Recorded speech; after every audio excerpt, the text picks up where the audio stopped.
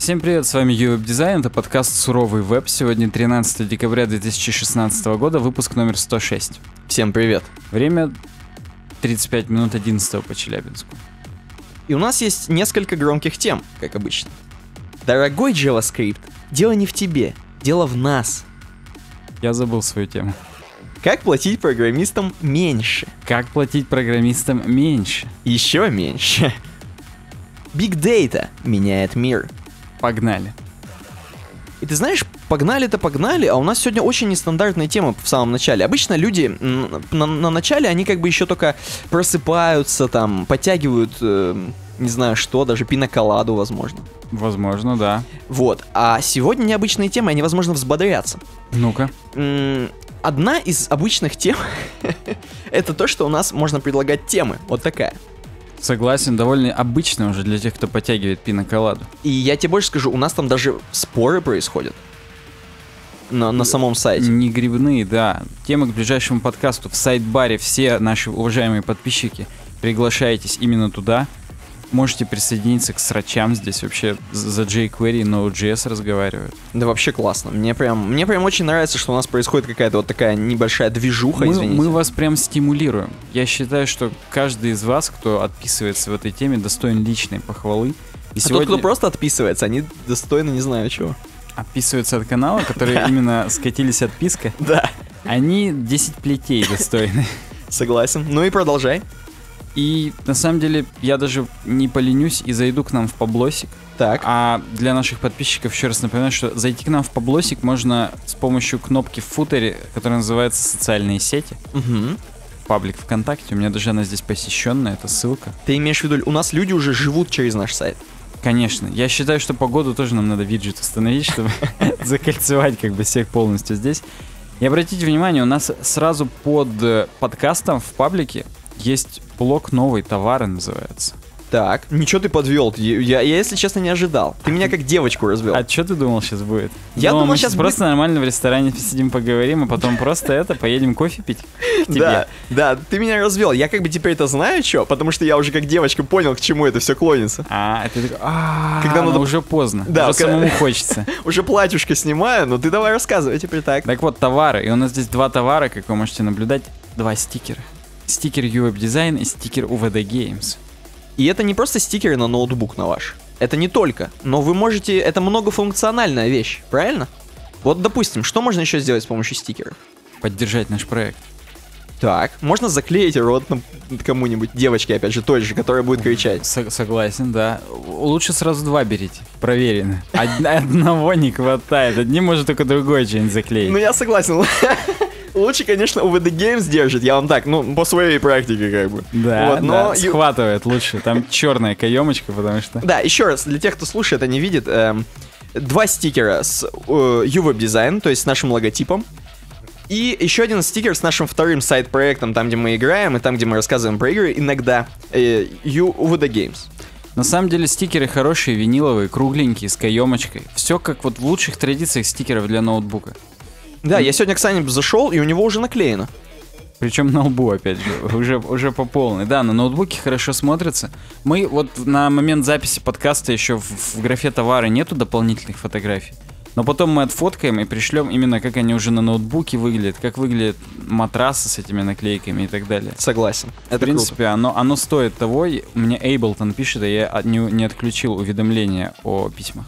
Отлично. Я думаю, можно вот из нашей вступительной речи перейти сразу к нашему классическому гостю, который у нас незримо обитает. Это Ник Бабич.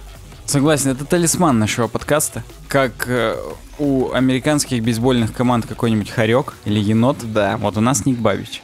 Это новости дизайна, просто для тех, кто первый раз у нас.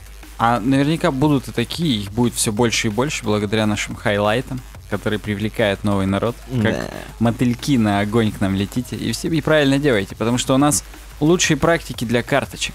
Так. Для карточек как элемента юзер интерфейса. А там карточки имеется в виду какие-то там будут. э, Как у Pinterest, примерно. Так. То есть сам факт того, что мы все чаще и чаще в интернете видим карточки.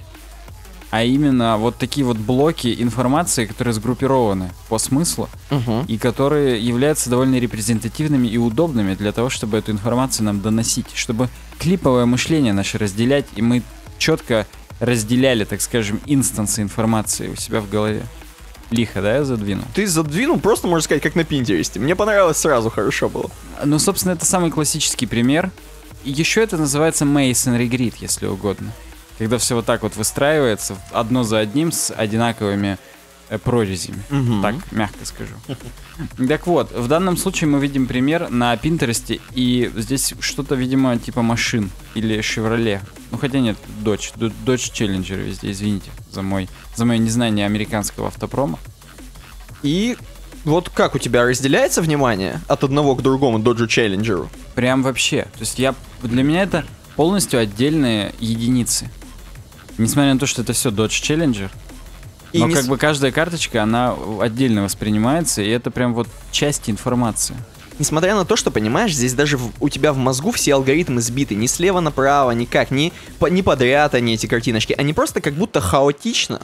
Но, но с одинаковыми прорезями, я повторюсь. Да. И- но в природе такое существует. Ульи, соты пчелиные, они же так же.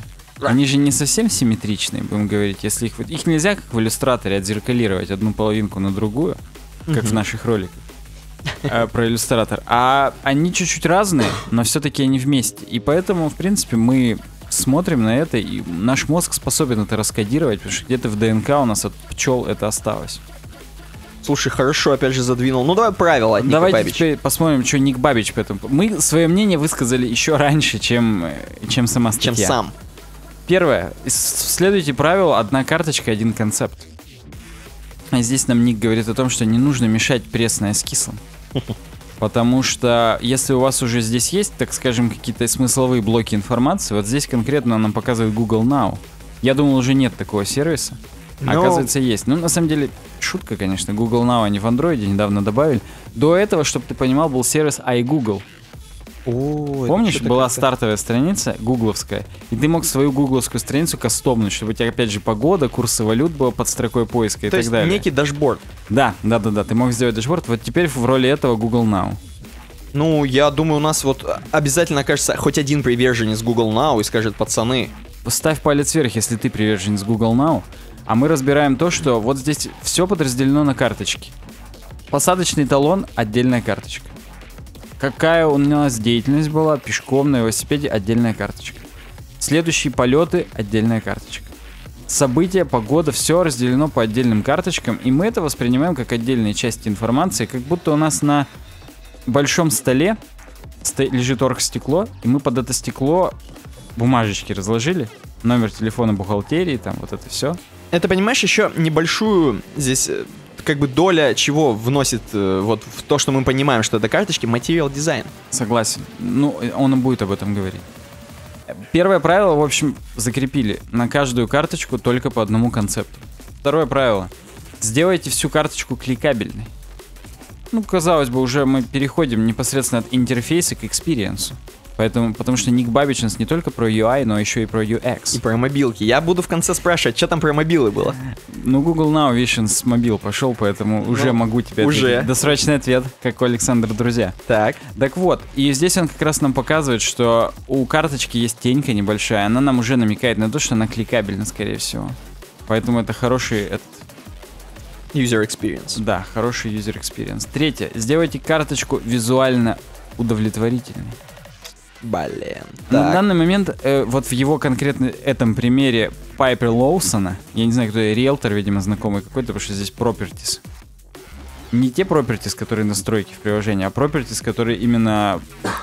Дома апарта- покупать. Ну, да, ц- недвижимость, короче говоря. Недвижку. Чего в них здесь такого привлекательного, я не знаю, но, видимо, тот факт, что они такие одинаковые, что у них есть хедерная картинка, бэдж, 12 часов доступно. Угу. Одна кровать, одна ванная и большая кнопка. То есть они прям такие, ну... Ну что там говорить, нормально сделаны, понятно. Вот, видимо, это и имеется в виду, Ну. хот- хотя здесь он расшифрует по пунктам. Очень в американском стиле сделано. Просто тупо кнопка, тупо инфа, ничего лишнего. Чистейший user experience, прям кристаллизированный, как метамфетамин, Мгм. прозрачный.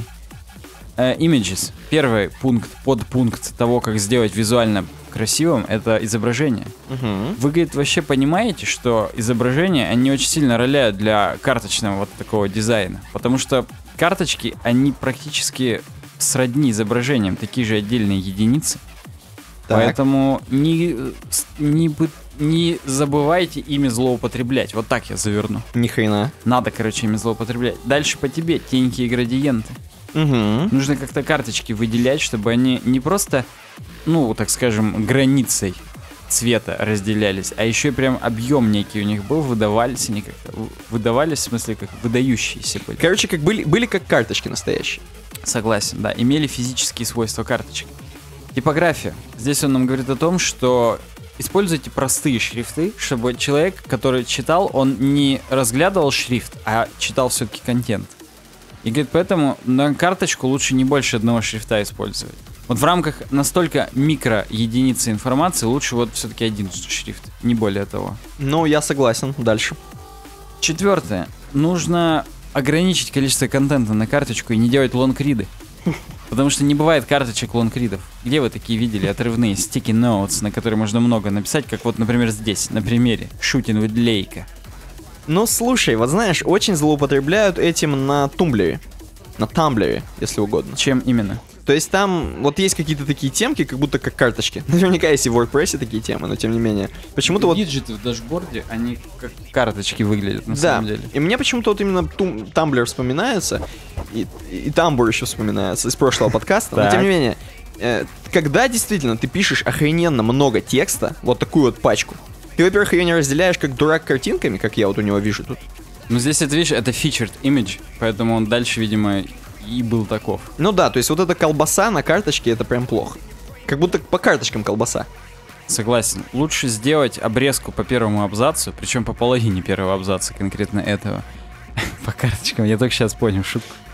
И сделать переход на синглу. И- А синглу уже нормально. Пусть тоже в виде карточки, ну то есть с обрамлением, так скажем, но уже хотя бы большую, широкую, чтобы можно его понимать. Угу. И пятое. Не упускайте возможность использовать анимации и движения. Нам Ник говорит о том, что анимация это вообще-то визуальная подсказка. Что мы можем эту карточку как-то передвинуть, крутить, вертеть. И нам это помогает как бы еще больше до пользователя донести, что это карточка. У него сразу клиповое мышление, он понимает, что это частичка информации, ее легче усваивать всего лишь от того, что она себя даже визуально ведет как карточка. Ну да, да, отлично. А Не забывайте, говорит, визуальный фидбэк, в том смысле, что при наведении можете всю карточку окрашивать. Сразу будет понятно, что с ней делать. Жать, нажать там и так далее. Это, в Мгм. принципе, очень круто. Здесь он нам показывает пример на UX Pin. Ну, там просто на всю карточку наводишь, она окрашивается и появляется кнопка. И второй пример — это роман школьный. Я не знаю, что такое роман школьный. Видимо, сайт такой. И здесь при, при наведении на карточку появляются все действия, которые вы можете с ней сделать. Типа там пометить цветом, репостнуть, переотправить, удалить и, и так далее. Ну понятно. Zoom-in — это при, нави- при наведении или при клике увеличивать ее. То есть, грубо говоря, ты взял карточку со стола и поближе к этим глазам своим поднес. И такой вчитываешься, как в газету, старик. Еще, знаешь, очки приподнял наверх, чтобы Мгм. как бы уже своими глазами взглянуть по Дарту Вейду. И вот да, это тоже хороший experience, потому что он повторяет пути дедов наших. Conclusion. Используйте карточки. Это прям супер круто. Ник Бабич нас побуждает. Где мобилки, спросишь ты? Давай. Карточки легко вписываются в мобилки и в адаптивный дизайн. То есть на десктопе мы видим вот эту россыпь, вот эту вот, вот пасьянс из карточек, а на мобилке просто по одной перелистываем и все. Но тогда же они теряют свой смысл карточек. Это тогда просто как бы посты. Но на мобиле, понимаешь, у тебя все как карточка, потому что ты, грубо говоря, весь свой экран как карточку одну позиционируешь и его перелистываешь. Знаешь, практически вот ты смотришь это, хоп, одну за другую убираешь, и, все. Я тебе так скажу, тебе надо быть адвокатом Ника Бабича. Вот если у него что-нибудь случится, проблемы какие-нибудь начнутся, пусть он к тебе обращается, ты его отмажешь, если что. Ну там карточка просто на Ну, телефоне. если, это если у меня хорошее настроение. А если плохое, я наоборот скажу, что да, у него трава, у него трава, бейте его, у него трава. Да, я просто хочу наших подписчиков, слушателей, всех зрителей, всех, кто есть, попросить, э, был, был ли у вас вот такой опыт, именно опыт, э, создания сайта с дизайном под карточки, cards. Напишите нам в Да, комментариях. напишите, может быть, какую-нибудь типа Masonry JS использовали, чтобы расположить это все. Сейчас вам подсказочка была. Можете прям сказать моим ответом, если чтобы мы только отвалили от вас. А наше мнение, нужно использовать карточки. Я считаю, когда уместно, нужно. Вот когда начинается, опять же, колбасы текста тебе нужно. Это отстой. Короче, use responsibly. С ответственностью пользуйтесь, и все будет круто. Да. Слей, Никит, второй чай, пожалуйста, вот в этот чайничек. Да, я просто сейчас скажу, что следующая тема, она для пацанов, которые любят быть в тренде. Который в заушках с подворотами. Да, да. И давай, вот, давай, слушай, а ты можешь начать издалека и рассказать, что было... А хотя ты, наверное, и так расскажешь, что было раньше. Конечно, в предыдущих сериях. Давай. Так, я пока солью. Мы рассказывали где-то год назад, я не знаю, может быть, полтора. Ну, короче говоря, вот в предыдущем сезоне, так скажем, мы рассказывали о том, что цветом года Pantone 2016 стала пара цветов. Rose Quartz — это такой нежно-розовый, и Serenity — это нежно-голубой. И оно как бы, мы в принципе с Никитой тогда много говорили, оно некую гейщину олицетворяло. Я даже не уверен, хорошо это или плохо, но как бы вот как факт. И это, в принципе, был единственный беспрецедентный случай, когда Pantone э, цветом года выбрала не один цвет, а два цвета. Ну, в общем, ходили они вокруг да около, и, видимо, фидбэк был очень спорный, как после шестого Бабеля, о котором мы сегодня еще поговорим. И в 2017 году они выбрали опять один цвет, и цвет называется Greenery. Greenery, я даже не знаю, у него есть какой-нибудь перевод, прям вот такой, типа, знаешь, теплица. По-моему, по-моему, что-то подобное есть. Ну, кроме того, что зелень. Нет, зелень. Нет теплицы. Хотя, да, четвертое значение теплица, слушай. Я гений, по-моему. Э, так вот, сам не похвалит, никто не похвалит. Greenery, цвет зелененький, как теплица выглядит. И я даже не знаю, стоит ли нам с тобой смотреть вступительный ролик понтоновский. Он 45-секундный, я его включу для наших подписчиков, которые могут себе позволить видеосвязь. Да, понимаешь, что Пантон это же серьезные чуваки. Вот если бы эм, какому-нибудь чуваку просто, который не знает, кто такие Пантон, ему сказать, Пантон выбрали цвет. А кто это вообще? А это, блин, чуваки, которые, они делают цвета на всем. Они знают, как у вас что будет сочетаться с чем. Ну, Я согласен, бомж Вася точно будет не в курсе. Да. Но опять же, чуваки за ушко будут. Тут даже нигерши, они с тенями зелеными. О. Цвета Greenery. Ну, видос у тебя крутится, и давай, и чё Гринери, ну и чё нам, да, и да. А Пантон позиционирует это как глоток свежего воздуха вот в эту эпоху с каменных джунглей М, и роботизации всего и вся. Нужно вернуться к корням. К roots, bloody roots. Вау. о Сепультуре. И освежающий, вот этот refreshing, revitalizing shade, вот этот оттенок освежающий, он прям сразу же пробуждает у нас всякое. И на самом деле у нас здесь будет, э, кроме того, что сейчас я читаю официальный релиз Pantone, будет еще темочка на quartz.com, в которых они анализируют. И там будет интересная аналитика, простите за тавтологию, аналитика анализирует. Ну, в общем, да, в повседневной нашей жизни, урбанистической, архитектурной, не хватает нам зелени, говорят понтоновцы. И представь, ладно, нам здесь в Челябинске не хватает зелени. Э, А да, в Нью-Йорке-то вообще каменные джунгли. На Согласен. Манхэттене. согласен. Ты сразу скажи, будешь трусы покупать вот такого цвета?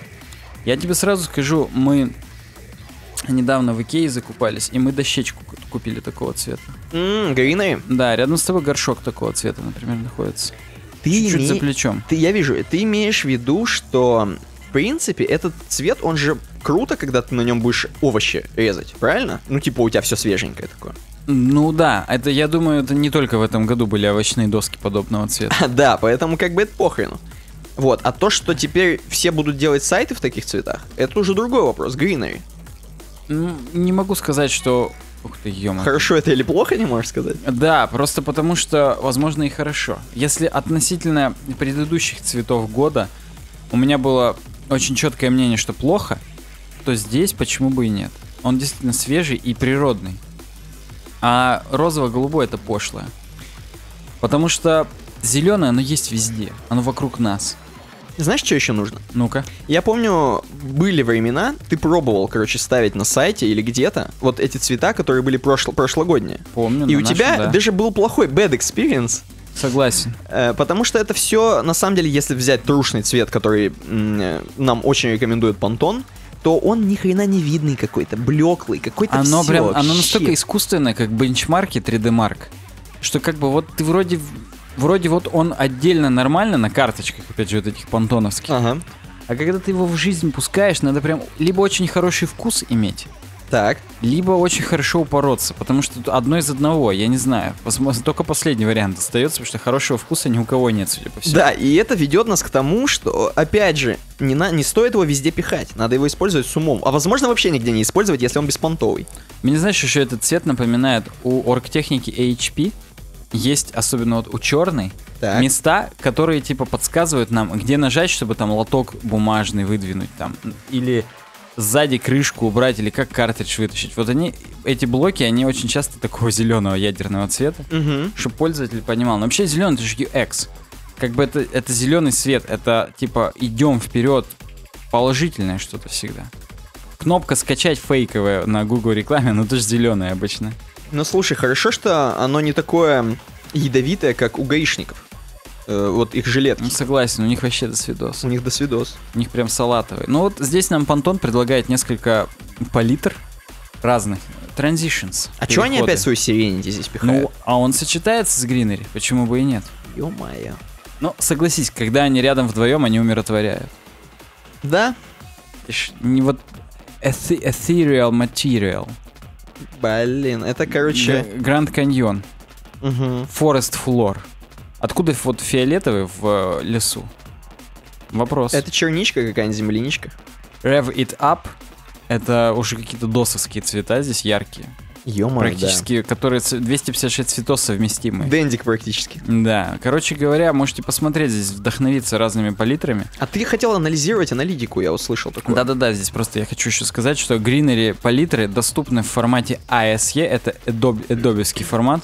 Можно сразу в фотошопик себе подгрузить и начать творить. Скидывайте в комментарии свои лучшие варианты всяких понтоновских тем. Ну, это я бы посмотрел, я бы посмотрел. Стопудово, я бы даже оценил, я бы даже приз какой-нибудь дал. Согласен. Не какой-нибудь а стикер у нас теперь есть. Согласен, я это и имел в виду. Знаешь что, короче? Давай проскроллим в конце страницы на pontoне.com. Вот у нас на понтоне именно. pontoне.com. Выходим на понтон, рыбачим, так. Те, кто не видит, я вам объясню. Здесь кружечка и флешечка.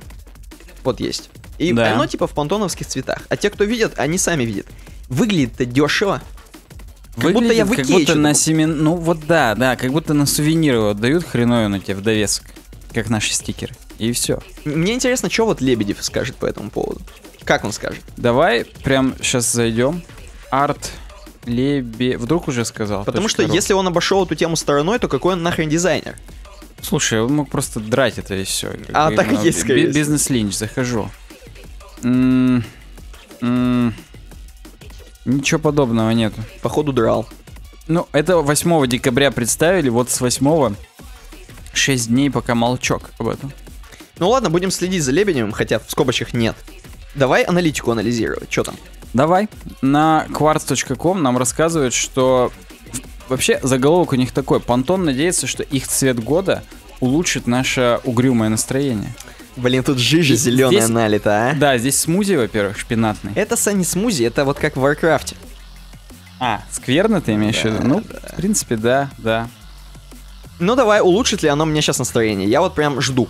Здесь просто еще смешно, что после дерьмовой политической ситуации, типа, нам улучшит это настроение. То есть тут на кварц это как надо, чуваки. Ну ладно, давай. Сейчас нос, нос зачесался просто. Так вот, э, пришло, говорит, время отложить розовый, голубой. Все, сделаем зелененький и так далее. Что это прям вот контр, контр, как бы сказать, выпад, контр-выпад темному вообще Темной жизни, видимо. темной жизни, которую, да, вызвал политический кли- климат во всем мире. Вот так они сказали, глубоко. И ожидайте, что вообще везде, потому что здесь есть некоторые партнерства у Пантона Мгм. с э, поп-культурой. Поэтому, говорит, в принципе, скоро на всех билбордах стран, хотел сказать страны, только тут стран. Ну и тут на самом деле о том, что Пантон это уже на самом деле очень попсовое, простите за опять же много то, на, на самом деле. Э, потому что уже чуть ли не Apple, только Нью-Джерси Нью-Джерси? Да, Нью-Джерси. А За- ты показываешь уже тетеньку или еще не зашел? Не-не-не, я перешел по ссылке на то, что даже Кока-Кола в свое время свой красный тупо у Пантона взяли. И все. Ё-моё. Как бы не хотел, да, возможно, знать. Не хотел. И Starbucks тоже свой зеленый. О! Тупо пантоновский цвет взяли, купили практически. Отслюнявили и все. Ну, в смысле, это имеется в виду, что оно не было эм, цветом года, оно было просто цветом, придуманным э, понтон. Ну, я так понимаю, в принципе, любой цвет возьми, он есть в пантоновском варианте, так скажем. К Хотя, сожалению. может быть, нет. Но сам факт того, что вот эта вот пантоновская карточка, где цвет и подпись, это уже поп-культура. Уже на билбордах именно эти карточки по прикольчику. Мгм. И там уже именно спонсор Пантон. На Нью-Йорк Fashion Week, например, и так далее. Я и понял тебя. как бы нам Кварц говорит о том, что учитывая все вот это, ждите прямо сейчас бум, до свидос говно. И у космет... бренда, э, бренда, бренда косметики Лондон, Брана Ба- бренд Заборода. да, вот я не знаю, знаешь ли ты такую Лондон? Ты мне вот тут про Просто- Мак, Просто про Лондон? рассказывал. Нет, не знаю. Вот они уже сделали лак для ногтей с цвета гринери. А и даже тени. Я только хотел, когда ты вот до этого рассказывал просто про цвет, только хотел сказать, что уже все юбки-то сделали, не? Ну вот мы до, до телочки проскраливаем, И видим. и нам рассказывают, что в принципе гринери, оно еще коррелирует с тем, что в офисном дизайне теперь преобладает направление биофилия, как бы это не страшно звучало. Это такое направление, в котором много растений ставят. Прям спариваются с растениями. Естественно. Осеменяют даже, опыляют растения, я бы сказал. Ну да, ставят больше растений, и по исследованиям Human Spaces, кто бы Ну. это ни были, э, говорят, что 15% boost в креативности случается у некоторых людей, когда они растениями окружены. Если все в зелени, да? Особенно если плотоядными. Там такой boost, что прям вообще тебя за жопу уку- укусят и ничего не сможешь сделать. Причем э, 15% креативный boost и 6% общая, так скажем, продуктивность растет. Мгм. Ну вот согласись, в джунглях оно как-то поприкольнее работать. Не- Ну, не- ну я не имею в виду прям в таких джунглях, где тебя анаконды кусают и пере- пере- это, переваривают уже. И тарантул. А просто когда-то... Ладно. Да. Когда этот плющ там вьется.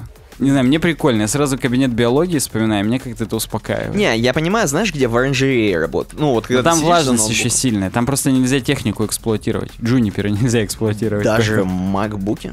Даже их. Там у них какой-то порог влажности, типа там во- 65 или 85. А в оранжереях, я думаю, сотка валит вообще стабильно. Даже ночью, когда осуша- осушалки какие-нибудь включают. Короче говоря, прям ждите. В H&M во всех зеленое все будет скоро. Мы тоже будем ждать. Просто я помню, когда у Пантона был цветом года горчишный какой-то, а я сейчас вернусь на сайт Пантона и посмотрю, в каком году это было. Э, в 2009. Вот Мгм. тогда в H&M прям бум вообще до свидос был. В 2010 я в Германии покупал такие штаны. Ну, все логично, все следуют за трендами. Все-таки Пантон это не последняя организация. Вообще, они прям шарят. А у нас не последняя организация в нашем эм, блоке разработки. Согласен. И это не, не последняя организация занимается, знаешь чем? Не- Предоставляет услуги хостинга вам.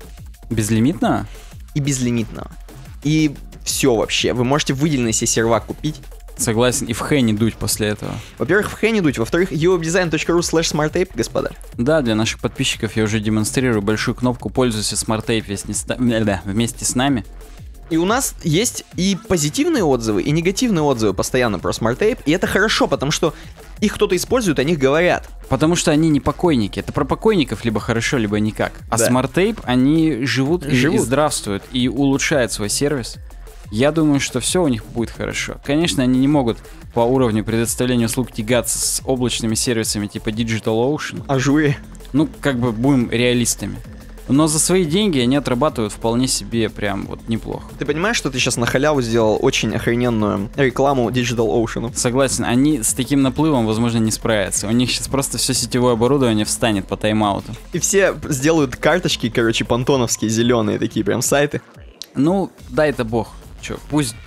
Пусть зарабатывают. Ocean, да, пусть работают. А у нас новость в разработке первая. И предложил ее Нейрон Insomnius, еще к 105-му подкасту. Да, мы теперь знаем наших героев в лицо. Кстати, ты был прав, мы дверь закрыли, сразу так жарко стало, просто до свидос. Я причем сижу в эм, кофте, во всем, и мне нормас. Возможно, А, у меня да? уже холод, жар, я не знаю. А, я просто открыть хотел, ну, ладно, н- не нет, буду. ты открой свою. Ну и заболей, я понял твой план, не буду. Да, инструмент разработки Firebug закрывается. Пользуйтесь Firefox DevTools. гласит нам статья на Хабре. Постик, постик такой. Так. И действительно, действительно, тот самый Firebug, который все так пиарили, все так молились на него. Вот я уверен, что у нас есть приверженцы, приверженцы вот этого Firebug. Firebug Акбар, ты имеешь в виду? Да. Велик? Да, да, ого- а, огненного жука. И мне нравится их логотип, действительно, огненный жук, такой как бы пожарник, но огненный. Нет, не пожарник. Мне кажется, это этот, как который картошку жрет. Колорадский, только огненный. Возможно, да. У него такая страшная раскраска по вуду каким-то статуэткам. И знаешь что? Знаешь что? Firebug, вот такая мощная штука. Все. И даже она не смогла устоять перед вот этим волной веб. Веб. Веб-инструментов, потому что, понимаешь, э, в каждом уже браузере есть такая хрень. Есть веб-инструменты, правильно? Все, все могут открыть F12 и посмотреть нормально. Тоже хотел про F12 сейчас сказать. С языка А снял. понимаешь, Firebug это была отдельная хреновина. И они в какой-то момент поняли, что все, что просто пользователей нет. Daily Active Users 0, наверное, я не знаю. Вот. И понимаешь, надо слиться с Firefox DevTools, тем более, что там наверняка практически одни и те же люди, они из кабинета в кабинет ходят и писают друг у друга в ту- туалетах. Возможно, даже когда у них день рождения, они в тот офис тоже пиццу покупают. Да, им приходится. И, ну, из-за этого давайте все-таки с DevTools сольемся и в таком экстазе, чтобы прям бомбануть. У, у них же хорошие инструменты Firebug были. Не, пользовался, но, Но- но регулярно, регулярно советовали, согласен. Да.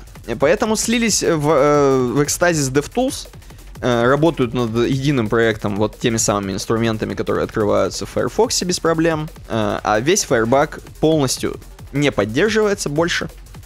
И все, кто были приверженцы, никаких вот этих новых супер 3D инструментов, когда можно вертеть дивы, как на детородном органе, не получат. Мгм. Поэтому, господа, я не знаю, вы отчаялись или нет, напишите в комментариях. Возможно, это все из-за Трампа, о котором мы дальше поговорим еще. Вообще, скорее всего, все из-за этого. Вот, напишите в комментариях. Идем дальше. Следующая вроде твоя. Я свое мнение выскажу чуть-чуть. Мне кажется, вот такое слияние, вдруг их просто перекупили. Ну, Ты давай более просто прагматично Как смотреть. интеллект. Купили их и все. Как, Как? бизнес. Да, как чуваков, которые алгоритм придумали Ну да. для Брекзита. Потому что, ну, чё, вдруг они перегорели? Или вдруг они с хейтингом столкнулись? И просто решили все бросить, все. Как А в нашей следующей теме. А мне кажется, они столкнулись с тем, что ну никто уже не пользуется этим дерьмом. Они просто посмотрели, А ну там- почему не пользуются? Потому что для этого надо доп- дополнительно устанавливать Firebug. Согласен, это дополнительные шаги, это прям бесит людей. Тем более Firefox мы знаем, не так много людей пользуются. Не надо нам говорить, что все сидят на Firefox. Мы знаем, знаем.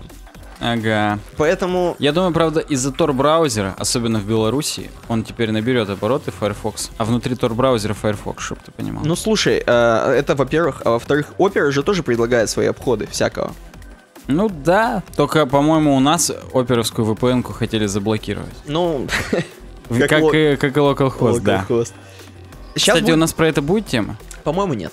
Дерьмо, нам ее трижды предложили, я хотел ее записать и забыл. Ну, короче, ладно. Забей. Да. Э, у нас зато посочнее тема про JavaScript. Обратите внимание, мостиком к теме про JavaScript будет второй абзац про Firebug. Какие-либо предварительные анонсы или обращения в блоге к пользователям отсутствуют, что вызвало некоторое недоумение в сети и привело к бурным обсуждениям произошедшего на Hacker News и Reddit. Опа. Кстати, об обсуждениях на Hacker News и Reddit. Следующая тема. Так. Дорогой JavaScript называется она, это перевод на хабре. И это обращение. Дорогой JavaScript. Да. А у нас в громких темах она звучала как «Дорогой JavaScript, дело не в тебе, дело в нас». И так и есть, по сути, да? Согласен, это в принципе отражает суть темы, но не является прямой цитатой. Знаешь, кто перевел? Азат Хузияхметов. Хорошо.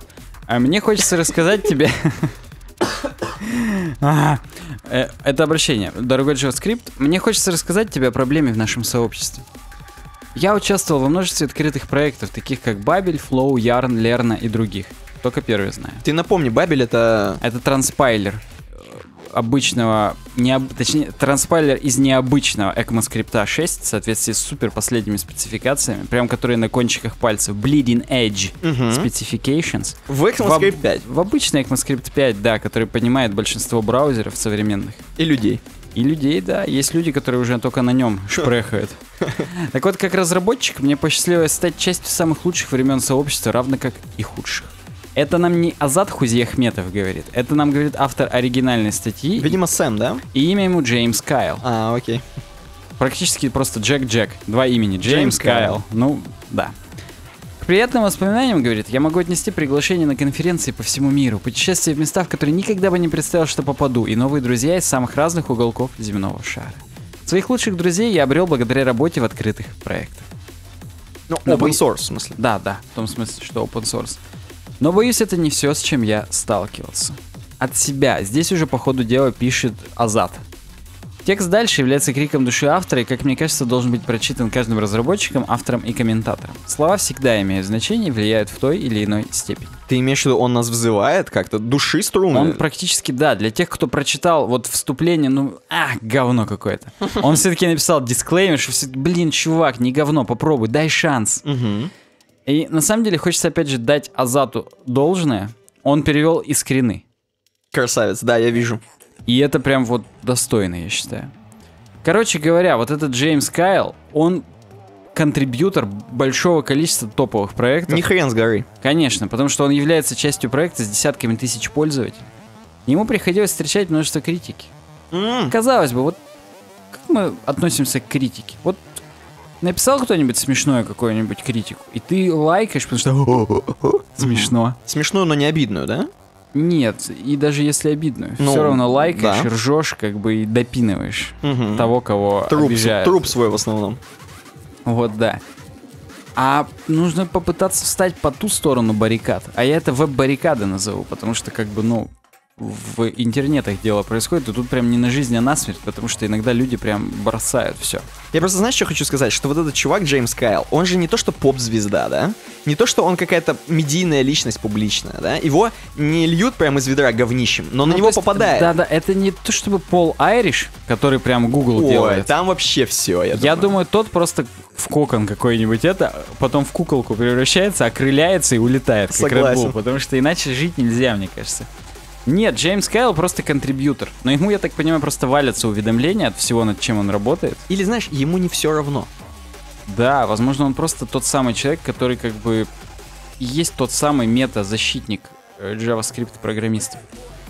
Так вот, и здесь с, не- некий Сэм Саккон, его твит приведен.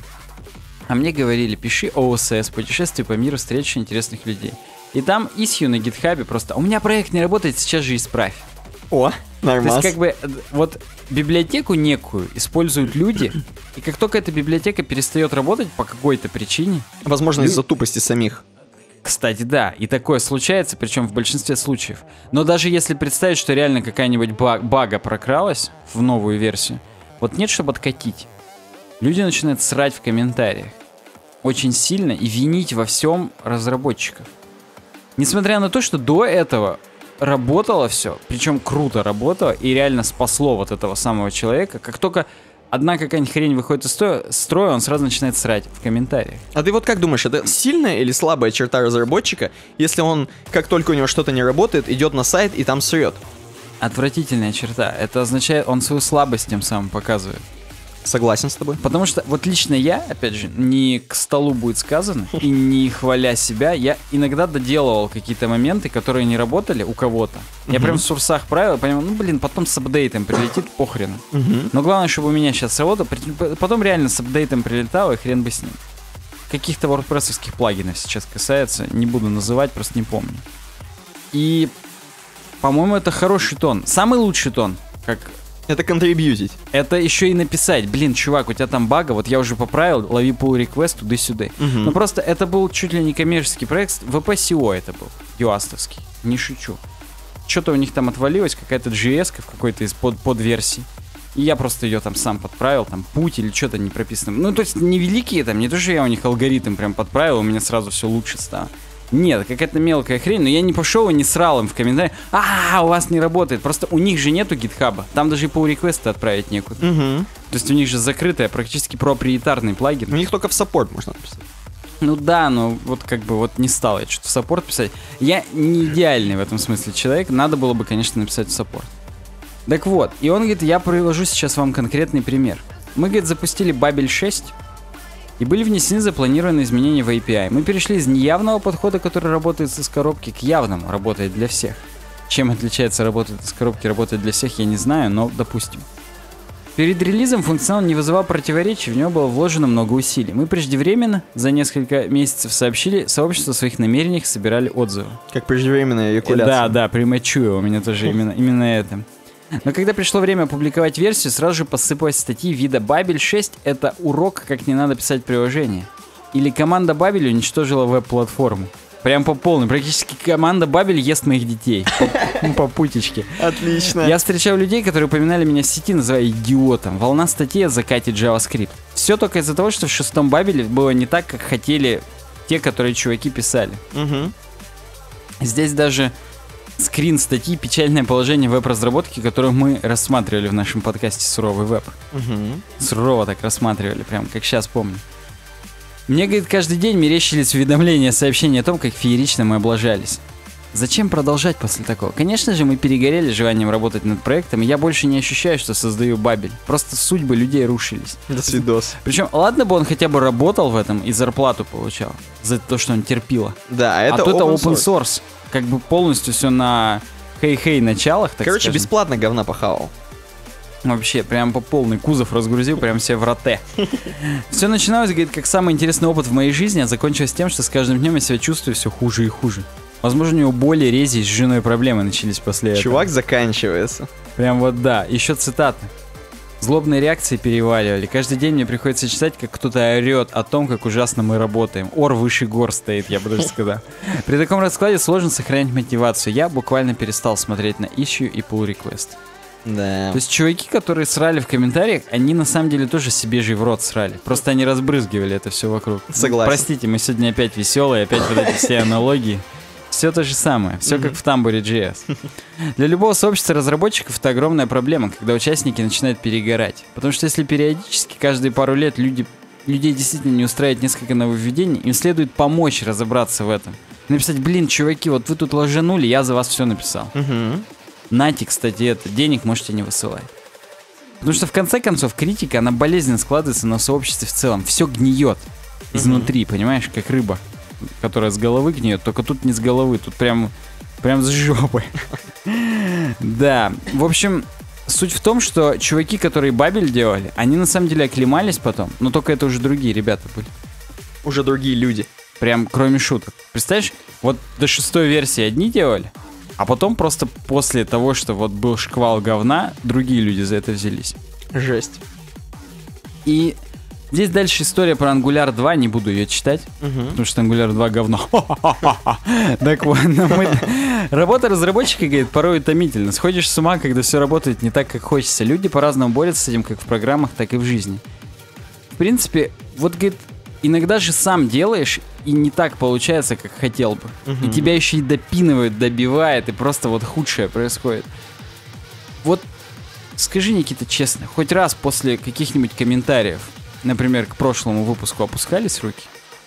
Но совсем руки не опускались вот, вот вообще никогда, иначе мы бы сейчас здесь не сидели. Согласен. Но Да, но иногда, иногда чуваки реально пишут. И причем меня даже уже задевает не то, что чуваки пишут пр- просто вы тупые козлы, а просто что пишут, надо разделить на темки. Надо там то, все.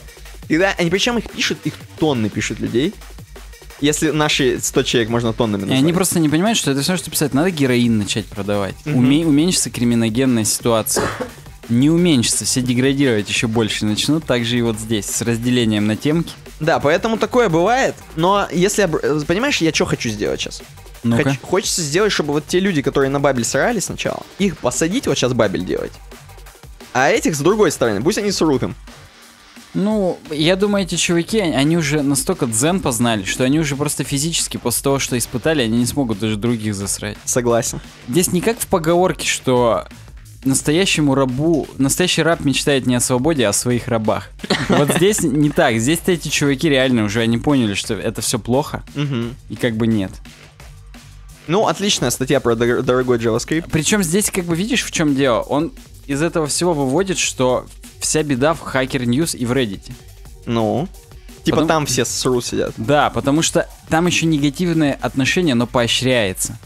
Там, понимаешь, те комментарии, в которых срут, они больше лайков набирают. Это все из-за людей, понимаешь? Есть инструмент, как Кольт придумал Кон- пистолет. Ну, согласен, да. Это не Hacker News виноват. А, Reddit понимаешь, никак. а вдруг чуваки, которые начали Hacker News, они сами там все засирали сначала. Это И тогда быть. они вокруг себя все выстроили, именно империю обсирания. Ну да. Но на самом деле я постоянно слышу именно про Hacker News вот это. Мгм. Причем мне это все... Даже чувак, который CodeKit сделал, Брайан, кстати, смотрите видео про CodeKit на канале.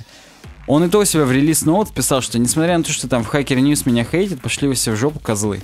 Видимо, это тот самый ресурс, на котором это принято, реально.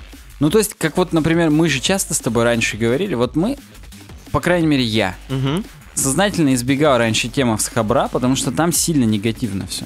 Ну да, но сейчас более приземленно, самом Сейчас деле. как бы мы комментарии просто я меньше стал читать, просто потому что, ну зачем вот, ты идешь мимо проруби с говном, зачем в него окунаться? Ты же знаешь, что это прорубь с говном, вот мимо пройди просто и все. Ну, разочек для experience. Ну вот уже наокунался я разочек, когда еще в институте мы учились, когда мы только этот подкаст начинали. Поэтому я считаю, что можно темки с Хабра читать, но вот комментарии тут это в натуре помойка. Да, да. Ну, Кстати, или я говорил я или не говорил, что я писал про Code Kit 3 в песочницу и просил инвайта. ну да, ты В говорил, но подкасте я говорил. это в никуда, по-моему, шло. Ну я еще раз скажу в никуда. Если у кого-то инвайт завалялся, киньте плизик. Статья про Code Kit 3. А здесь Джеймс Кайл вот такой крик души нам выдал. Знаешь, И я мог бы подобный же выдать. если знаешь, бы мне грустная, инвайт грустная дали. статья, да, грустная. Я прям в публикации здесь сейчас зайду в веб-сане. Ты хочешь залайкать? Нет, я хотел, чтобы это оставить ссылку на свою песочницу, но что-то у меня ее, по-моему, уже удалили. Отлично. И такое, видимо, бывает. Ненавижу. Нет, мои публикации есть. Вот, CodeKit 3. Посмотрите, как выглядит. Если у кого-то есть, спасибо. Дальше у нас, хочется сказать, толстая новость, но мы с тобой недавно обсуждали, что она уже и не толстая почти. Она похудела, новость похудела, и новость с CSS Tricks. Да, CSS Tricks от Криса Койера, просто недавно он выложил здесь. Давайте прям в прямом эфире посмотрим. Будем обсуждать э, прям внешность Криса Койера. Согласен, по-моему, достойная вообще тема для обсуждения. Согласен. Он э, выложил здесь статью хроники CSS Tricks. Как Кстати, хроники Нарнии. Кстати, где она? Что-то как-то я вот... Вот, нашел, на второй странице. 6 декабря это было. И он рассказывал, что, в принципе, вот мы там пошли дальше по Филу Шиллеру, все у нас круто и так далее, третий сезон, туды-сюды, 122 подкаст. Здесь вот его картинка, которую я еще помню, я еще застал ее. Хотя мы CSS Tricks читаем уже лет 10, наверное. Мгм. Ну, реально до хрена. Ну, не 10, вру, 6. И вот он толстый еще здесь, All Around Badass. 122 эпизод, Office Hours. Он еще BDSH был. Да, причем, я так понимаю, эпизод, так скажем, новый, просто они старую картинку его используют. Мгм. И тут дальше у него уже Shopify вебинар, и Мгм. тут он уже прям мачо. Ну слушай, на Твиттере у него такая же матча в кепке, да, где он? Да-да, где он в кепке Да, уже вот- с бородюнькой. Вот здесь встроенный твит, собственно, в статье про Margin Bottom и Margin Top. Там есть, да. Он вообще прям крутой уже пацан, прям... Да, вот именно эта фотография я здесь... И... А потом дальше Сиэтл, апрель 2017, и Мгм. там его картина... И там он какой-то просто, как будто он в школе еще учится. Согласен, То да. есть здесь немножечко какие-то метаморфозы Криса Койера происходят. И там дальше еще фаундер CSS на userdefenders.com, на халяву просто рекламирую, userdefenders, простите. Там тоже он еще толстый. Короче, я не знаю, он как Анджелина Джоли или кто там с метаморфозами, как этот, как кто худел-то, Бейл, да, постоянно, от роли к роли худел. Вот CSS ой, Крис Койер, видимо, такой же. От подкаста к подкасту. Согласен. Ну, в общем, от него новость. И он нам рассказывает, что я, говорит, замутил такой импровизированный э, опросик на Твиттере. Давайте, говорит, вот вы как используете, вот если вам надо вертикальную дырку сделать между двумя, точнее, дырку горизонтальную по вертикали. Ну, вы поняли меня. Между двумя параграфами. Вы как ее сделаете? С помощью margin bottom или margin top?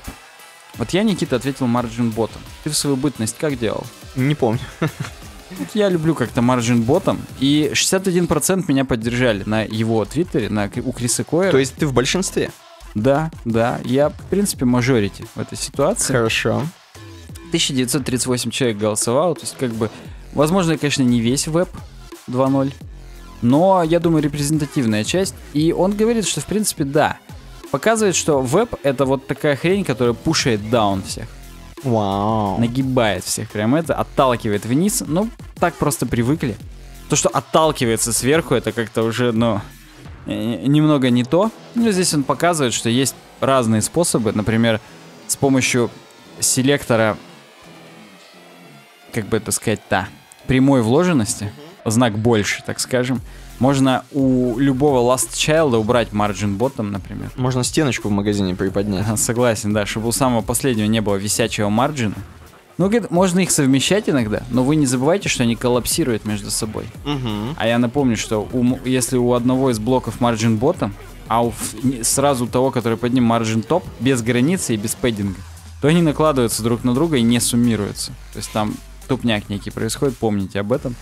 Но если, говорит, какой-то Грег Уитворд проанализировал кучу статей, миллион семьдесят тысяч страниц, Всего лишь. да, и на 97 из них был margin топ, а на 96,9 margin bottom. Ну, как бы очевидно, что на некоторых страницах присутствовало и то, и то, на большинстве. Но margin топ чуть выиграл. Может быть, это какие-нибудь генераторы типа VIX сместили М. статистику. Возможно, Я кстати. даже не уверен, хорошо это или плохо, но вот как есть.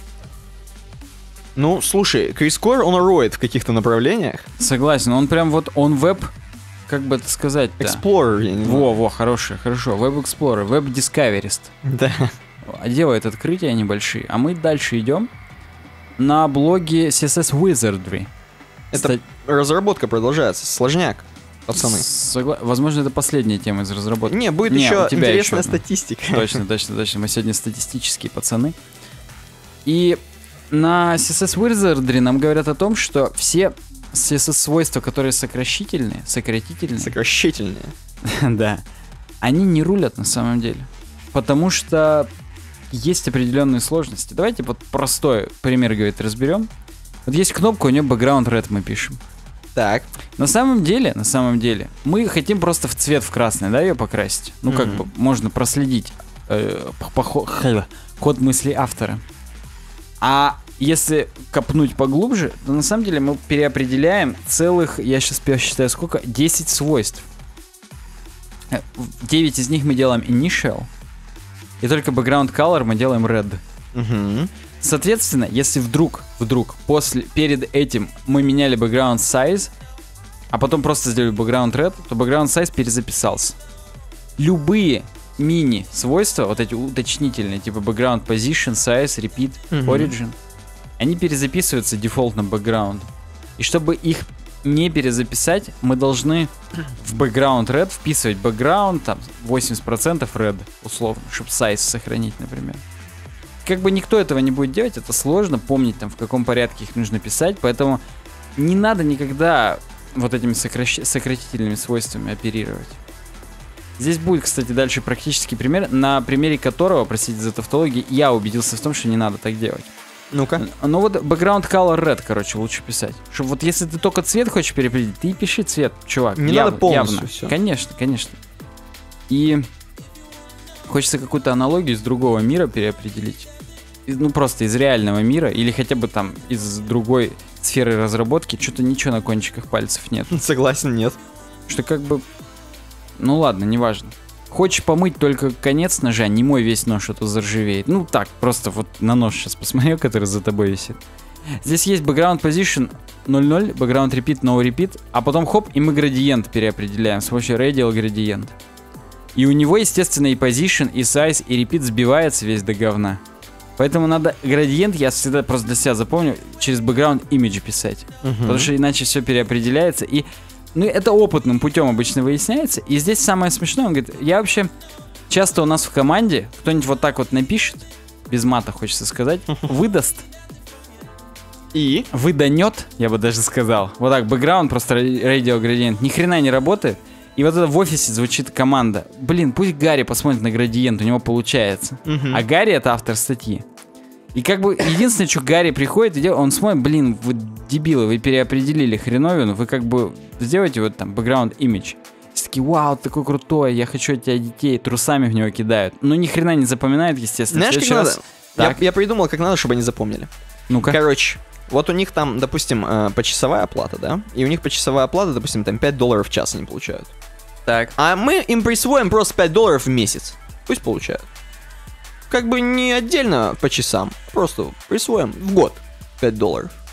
Ну, видишь, это не Гарри заниматься, это Human Resources заниматься. К сожалению, да. всего, или руководство напрямую. Но Гарри может на них стукануть. Но это мы сучим нашего лирического Гарри. Да. Не будем этого делать. Э, еще один классический пример с марджином. Вот мы хотим сделать, чтобы было центра- центрирование горизонтальное. Делаем марджин ото, да? Мгм. Но иногда мы делаем 0 ото, чтобы как бы только к э, левому и правому. Но мы зато обнуляем верхний и нижний. Поэтому, если хотите отцентровать, вы сделаете явно margin right авто, margin left авто. Мгм. И будет вам счастье, как говорится. Ну, здесь есть говорит, некоторые exception. Можно исключение, слово забыл. Можно с умом пользоваться вот этими сокращенными написаниями, просто потому что писать 4 пэддинга это глупо, если можно написать один, пэддинг 10. Оно как бы со всех сторон будет по 10. Или 2, пэддинг 12-24 будет у верхних 12, у боковых 24. Можно даже написать э, 3 пэддинга. 12, 24, 12. Это будет означать у верхнего, у боковых и у нижнего. То есть Мгм. даже такие есть, так скажем, сокращения. Мне кажется, если играться слишком много, можно запутаться и что-нибудь там это.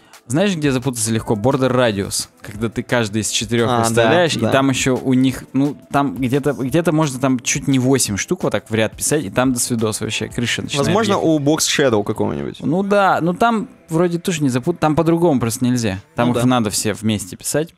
Но, говорит, не надо писать магические цифры, типа там 12, 17, 16, 10 пикселей. Как бы, в принципе, с точки зрения CSS валидно, но с точки зрения поддержки кода вы потом хрен ногу сломите. А что у вас там за 12 было и за 17 пикселей? Но мне кажется, люди, которые используют SAS и вообще все, все, все, SCSS, они уже это не видят. Они видят только уже переменные. Согласен, тоже вариант, но вот даже переменные надо с умом вставлять. Согласен. Вообще, в принципе, с умом надо вставлять, господа. Да, переходим дальше. А дальше, короче, у нас занимательная аналитика, занимательная статистика. Кто нас занял этой аналитикой? И нас занял этой аналитикой никто, потому что у меня просто написано Никита. Возможно, я вас сейчас Нет, займу. ты просто когда перейдешь, там уже видно, кто А, нас прокомментировал. Кристина прокомментировал. У нас. Да. Если еще не обсуждали, интересная статистика. И здесь действительно статистика, которая, в принципе, интересная, но я бы сказал, она ну такая, интересная. Мы, кстати, с этого же сайта ее год назад обсуждали. За 2005 год. Офигеть, офигеть. Тогда ладно. А Преемственность сохраняется. Еще чуть ли я не в другой квартире записываю. точно? Блин, ну ладно, я сейчас испугался, что мы снова за 2015 обсуждаем. Не-не-не, тут нормально. Нет, на самом деле это статистика за 2016 год. Про то, как вообще фронтендеры живут. Так, И, собственно, они опрашивали это где? На каком-то, короче, вот каком-то, блин, опроснике. Вот кого-то опрашивали, и там 4715 человек всего эм, занялось этим. То есть участвовали в опросе, то есть были этими. вспомни, респондентами. Точно. Вспомни эти.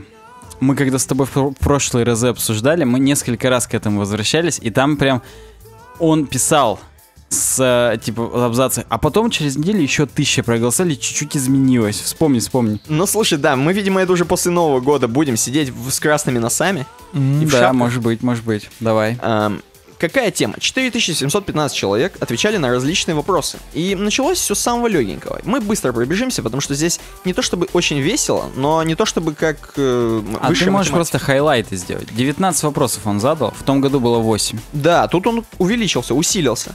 И сразу первая легенькая такая, а сколько вы вообще фрон- во фронтенде? Сколько у вас experience фронтендовый?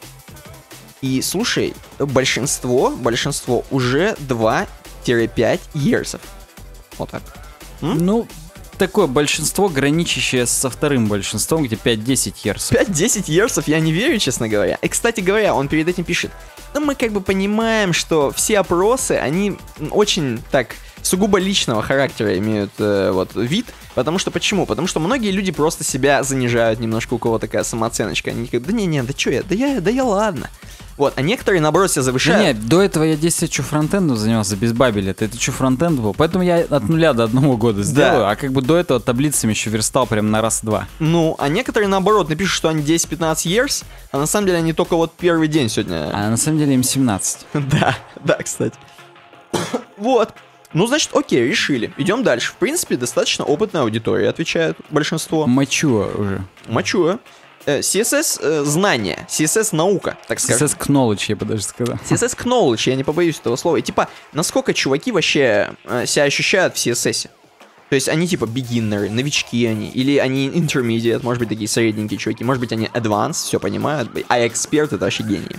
И, между прочим, большинство intermediate, то есть средненькие пацаны. Не, не а, я большинство. вру, Пай- advanced. Пайчарт, посмотри, там прям, да. Advanced чуваки, да, advanced чуваки, и что самое главное, то есть мы помним, у нас чуваки от 2 до 5 лет отсидки строгого режима, Мгм. они еще и. Э, Идем дальше. Вроде у такие успешные пацаны. Мне вот интересно, как вот различать? Такие расплывчатые формулировки, что такое эксперт, что такое интермедиат, что такое advanced? Согласен. Между вот intermediate и advanced это странно. Пусть будет эксперт это бабелька в совершенстве, знаешь. Или если ты бабич. Да, все. Уже и решили. Какое использует э, CSS процессор, собственно? Процессор имеется в виду типа SAS-лес. И на самом деле, видимо, америкосы отвечали, пиндосы, я не побоюсь этого слова, они за SAS сильно топили, и там 63%, и там не победить. Смотри, там падение на полпроцентика было. Да, да, па- падение реально. А пост CSS вообще не существовал, у него он NA. Ну да, и стало быть, за его счет, так скажем, и падение. Ну, он кстати, он да. высрался на арене, и поэтому лес аж на 5% упал, так ему и надо. Да, лес, кстати говоря, не сильно используют. Ну, возможно, это из-за того, что американцы. Сократилось на 1% количество людей, на 1,4, которые не используют препроцессоры. Это- Потихонечку переходят на современные технологии, лют. Да, давай не будем смотреть, что там experience, процессор experience, там чуваки просто, типа, насколько они слышали, не слышали, это, в принципе, очень интересно, SAS там побеждает по полной. Про него все слышали и круть. Э, naming schemes, CSS naming schemes. И типа, используете ли вы BAM, или Suite какой-нибудь там, или вот такой, или SMAX, возможно. И там чуваки, естественно, да, охренеть, все используют. Ну, 46, опять же, большинство, такое уверенное. Уверенно, я напоминаю, у нас крутые пацаны. Но, кстати, у нас, если бы вот за путечку произошло 46, второй тур был, надо было, чтобы больше 50, чтобы уверенное большинство было. Ты имеешь в виду переголосовать? Блин, не, ну я все-таки все-таки знаю, все-таки Мгм. пользуюсь. Мгм. Эм, CSS линтит. Кто линтирует CSS-очку свою? И реально, чуваки не линтируют. Вот ты мне сказал, что ты тоже не линтируешь. Не, CSS нет. Видимо... Не вижу смысла просто. Это как-то это настолько сильно себя в рамки в эти загонять. Мгм. И как бы это, наверное, имеет смысл, если у вас 20 фронтендеров, и вы прям все, э, у вас разношерстно, это хотя бы как бы вас сведет воедино. Мгм. А в- если все уже довольно компетентные, то как бы тут, ну не знаю. Идем дальше. Давай эм, к Q9 сразу скрольнем. И там tool usage. И tool usage это недалеко ушло на самом деле от всего, чего раньше спрашивали. И здесь типа какие методологии или инструменты вы используете? Вот такой вопрос не очень корректный, конечно, но тем не менее здесь есть такие вещи, как SMAX и такие вещи, как, например, автопрефиксер. И Сьюзи, и Модернайзер. Они, по-моему, вообще не исключают друг друга. И А, ну хотя, собственно, если суммировать, извини, тут и сотни-то не Тут получится. будет больше. Тут, да, тут будет ладно. больше, да. И здесь просто вот как бы вот здесь 146%. Идем дальше. Идем дальше. Давайте еще что-нибудь повеселее выберем. JavaScript. Вот, это интересно. То есть CSS мы закончили. Давайте узнаем, как JavaScript пользуются. И здесь именно как пользуются, как умеют пользоваться. Опять же, beginner, Опять же, новичок. knowledge. Да, knowledge, опять же. И господа-то, они как были advanced в CSS, так и advanced в JavaScript. Экспертов, кстати, тоже примерно 15%. Возможно, это одни и те же люди. Скорее всего, скорее всего. Э, Task Runner, может быть, кому-то интересно, побеждает э, Gulp. Побеждает Gulp. И на втором месте NPM Scripts. По-моему, в том году также и было. Нет, в том году, по-моему, Грант. Да, да, ты видишь, там смотри, какая разница. Грант на 16% упал, а NPM Scripts вырос на 23%. Ну, вообще охренеть, просто скаканул. На месте стоит, просто топчется, минус 0,1%. Да. Немножко пропустим. Появился, между прочим, гуай, гуевые приложения, например, CodeKit. Мгм. Почти 2% пользуются. В прошлом году не было. И смотрите ролик на канале. Тринадцатый вопрос. Вот так мы перескочим. А там про libraries. Какие вы используете JavaScript библиотеки. И, конечно же, конечно же, побеждает какая? Правильный ответ jQuery. Вот да. И 69%. Я так понимаю, опять же, здесь не... Здесь тоже 146, 146. И, ну, то есть, конечно же, ты можешь использовать несколько библиотек, никто тебе не Конечно, можно использовать и полимер, и jQuery. Но в основном, в основном jQuery продолжает бомбить пуканы. Эм, идем дальше. Angular 2 подбирается к первому. Правда, конечно, между ним и первым все еще underscore и Vue.js. А между ним и jQuery пропасть. Согласен, в виде реакта, который в тамбуре. Да. Давай э, к 15-му. Мо- э, JavaScript Model Bundlers. Знаешь, что мне сейчас резануло? В конце 13 вопроса рекламка сразу React for Beginners. О, да, вижу, вижу. О, не хотел знать. Они, поди, еще и завышают на там процент. Ну там э, реферальная ссылка, так что да. Я имею в виду в статье. Там, А, типа, React Growth. Вбросы, карусели? Ну, слушай, не хотел думать даже на эту Ну, тему. может быть, кому-то интересно будет про Model Bundlers JavaScript. И здесь побеждает э, Webpack, он прям так бомбанул. Но это... Я хотел поржать. что побеждает I don't use a Model Bundler. Ну нет. Но оно уже, на втором уже и месте. не побеждает. А в том году, кстати, побеждал. 22% сломалось. Я тебе Стало больше скажу. использовать. В прошлом году вообще все побеждало, где не используют. Чуваки проце- препроцессоры не использовали. Мгм. То есть Там- ты вспомнил, Да, там была жесть. Я почему-то вспомнил, мне это отложит. Э, Идем дальше. JavaScript Transpilers. И здесь, собственно, такие, как Ну, Бабель. Тут, тут просто практически это. Это где? Э, Это, а, короче, 16 да. вопрос вижу. А, ну тут слышали или нет? Я думал, какие. Потому что, по-моему, кроме Бабеля особо и нет. Почему слышали? Are you using? Ну, ну ладно, да. То есть, как бы, в принципе, такие, типа, уверенные пользователи. 2942 человек, человека. 62%. И это охренеть как круто, я считаю. Тут опять какие-то реклама и ECMAScript, Ну давай так, например, React без Бабеля просто не работает. Мгм. Поэтому тут хошь не хошь придется юзать. Согласен. Даже если не понимаешь. Даже если не слышал. Не слышал, но использую. Немножко JavaScript линтинга здесь был а, вопросик. Если новый бомбанул, если бы этот вопрос был год назад, я думаю, что у него бы было вот все эти плюс 41%, потому что он новый просто. Вот, да, он был, там какой-то есть хо. XO. Хеннесси, возможно. Хеннесси, Кто просто пьет, прибухивает 24 человека. И нормальный ему код сразу кажется, его расставляет там, и все. Да, JavaScript тестинг. Кто-нибудь вот тестит свой JavaScript, просто реально тесты прогоняет, не? И чуваки, чуваки, ответили, побеждает, конечно же, что не используют. Но я хочу ответить вам, э, не ответить, а обратить ваше внимание, что моча. На втором уверенном месте. Да, моча та самая, которая кофе так называется, моча. Вот, извините, можно мочу? Да. Шоко мочу. Э, Есть, кстати, плюс 7,5% у мочи. 19 скучный, поэтому вот такая статистика. Я не знаю, грустная она, веселая или просто какая-то что-то кого-то наводит на какие-то мысли. Напишите в комментариях, вы вообще соответствуете статистике? Или вы сразу beginner ответили и нормас вам был? Да, на все остальные не, не слышу, не, не слышу, не, не слышу, не, не использую. Да. Хотелось бы узнавать, когда такие проводятся опросы и поучаствовать разочек. Нажать пару разочков, 19 разочков. Ну, я вот, ну такая, мнение свое высказываю. Слушай, может нам на веб-дизайне каждый год зам- замутивать такой опрос, нас все будут Ты репостить? просто не веришь даже, что все это у меня записано в списке нужно сделать. Блин, ты понимаешь, что у нас сейчас своруют эту тему все пацаны, которые Ну вот я не слушают? знаю, зачем ты ее озвучил. Ты вот надо Сорян, вырезать это при сорян. монтировке. Ну ладно, не будем вырезать. Хотя я маркер-то поставлю, подумаешь по настроению своему. Ну и чё? Чё ты хотел? А я хотел сказать, что... Как же ты меня сбил-то сильно, ё-моё. Согласен, я кританул по тебе, и ты все уже Подожди, зуботычина. Подожди, подожди. Ну давай, там было, что в прошлом году, I don't use, давай. Что было? Подождем, мы все подождем тебя, Сашенька. Не, у меня без, вообще безрезультатно. вариантов. У Ну меня всё, просто я два. отвалился полностью. По тайм-ауту. Между прочим, у нас перерыв должен сейчас быть по, по плану. Я предлагаю, да, перед тем, как откинуться на ваших э, Гелендвагенах, в которых вы слушаете наш подкаст, давайте немножко передохнем, выйдем из Гелендвагена, потрясем ножками, ручками, поприседаем. Побьем в крыльях, где снег мокрый забился. Да, побьем грушу. Вот. И потом вернемся, и будет светские новости. То ли про Хеннесси я что-то хотел сказать. Ну ладно, буду вспоминать. Просто фейдаутом, то ли я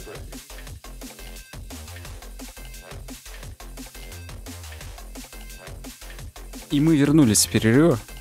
И вы бы знали, на самом деле, что происходило в перерыве. Саня не то чтобы отдыхал, он, наоборот, работал. Он говорит, я сейчас, говорит, переслушаю кусок. И, говорит, расскажу, что я думал. Я, да, я прям заставил себя вспомнить, и я вспомнил. Это к вопросу об вопросах. Угу. Простите, опять же, за тавтологию. Я тут недавно утром сидел в ванной. Опа. Господа. Мылся. Так.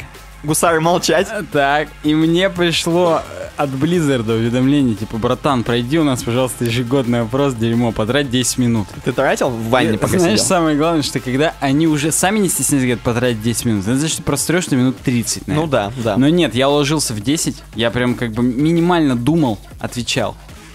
И там, знаешь, на вся- эмоциях. Почему меня... Я сразу как бы предвижу вопросы, почему? Потому что у меня активная подписка на Вовку.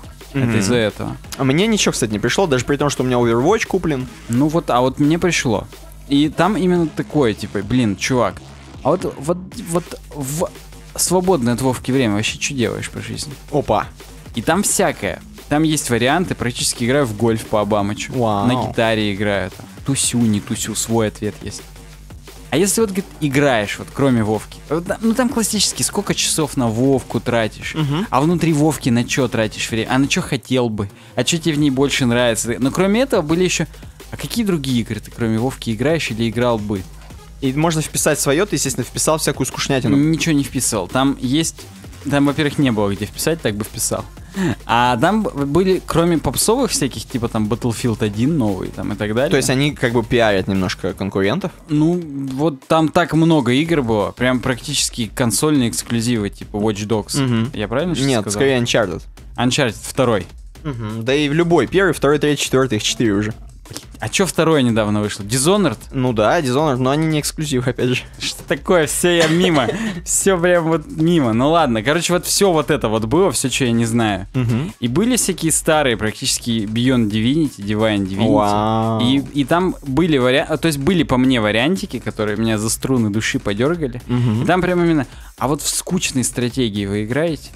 А вот вот есть в Вовке такая же часть, как вот скучной стратегии. Я прям сидел честно, им все прям от нуля до 10 порекомендую ли я аукционы в Вовке своим друзьям? Блин. От нуля до 10 порекомендую ли я битвы питомцев в Я понял, почему мне не пришло, потому что это про Вов.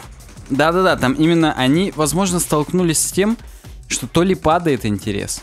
Хотя по тебе Легион, наоборот, бомбанул. Но Легион бомбанул, но они просто хотят знать, собирают инфу. Возможно, они думают, почему бомбанул. То есть, как бы, ну, биг дейта им нужны. Да? И это будет являться, в принципе, мостиком к одной из наших следующих тем. Ты прям крутую историю рассказал, и мне даже нравится этот опрос. Он тебя не отталкивает. Возможно, потому что ты это про игры играешь Нет, просто видишь, я тебе еще нормально рассказал. Если бы он тебе самому пришел, я даю 98%, что ты бы их нахрен послал Я не бы проходил. про Overwatch бы я прошел, но только не 30-минутный. Ну тут нет, тут 10. Вот они как сказали 10, вот я примерно 10 минут у меня жопа отмокала. Потому что я как бы все бросил, у меня телефон бам-бам-бам-бам, типа почта. Я думаю, блин, блин, какой крутой новый комментарий на веб-дизайне, какое мы говно там или что, какие мы крутые. А нет, Blizzard. Отлично, мне очень понравилась э, тема. Ставьте лайк, если вам понравилась тема от Blizzard. Так, а мы, а мы переходим. А мы переходим в легенькие темочки. Мы сейчас их э, не то чтобы будем щелкать как семечки, потому что это темочки, а мы их будем кушать как картошку, потому что в Беларуси начались блокировки Тор. Ни хрена себе, вот это поворот. Господа, я напомню вам, что Тор это не тот самый мифический персонаж, который бог.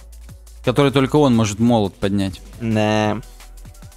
А та самая хренотень, которая вам спокойненько помогает обходить все, что заблокировал э, ваш там, ну, тот самый Роскомнадзор, например, или какой-нибудь Беларуснадзор. Белкомнадзор. М, ну, окей. И тем не менее, вкратце, вкратце. Было принято в начале 2015 постановление о блокировке Тора. 2015 начале. И там реально вот целая статья, что бла-бла-бла, нельзя то-то-то, и в том числе Тор, как знаешь, обычно любят перечислить.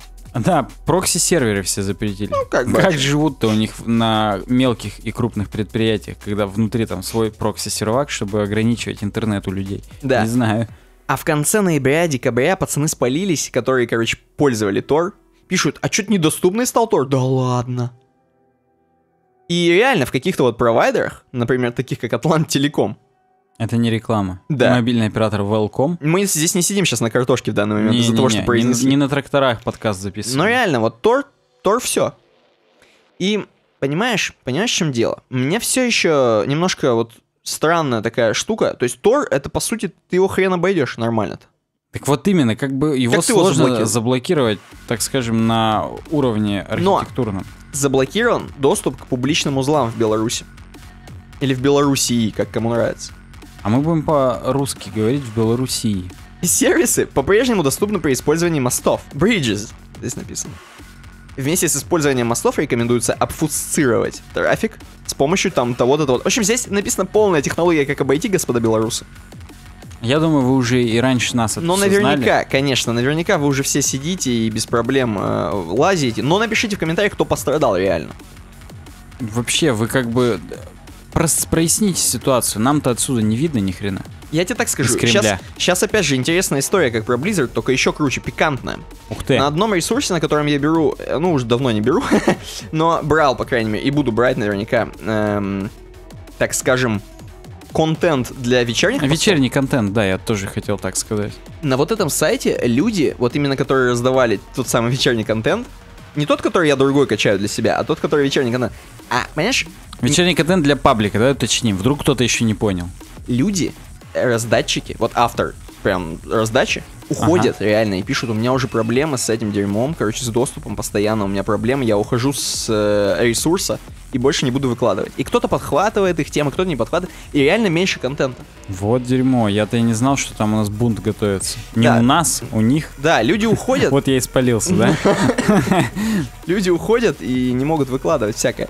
Ну Вот слушай, ну никаких не, доз- не с Тором вообще все лайк и чаром работает. А, я тебе скажу так, от себя, если ты сидишь, допустим, через, допустим, включаешь, и ты типа в Америке, Ага. ходит медленнее, Нет, и базару нет, вообще сильно медленнее. Но ходит же. но ходит, ходит. Ты же понимаешь, что потом торрент клиента уже не через это ходит, а Ну, через обычный. И там конечно. уже не медленнее, там уже 10 мегабит. Там-то соседа Э, я тяну нормально. Мегабайт. У меня там прям прет вообще. Вот именно. Там как будто у тебя из соседней комнаты в натуре это раздают как будто всё. батя уже скачал. Вот да. Идем дальше. Навыки людей компьютерные. У меня так написано здесь. Как будто навыки людей компьютерные.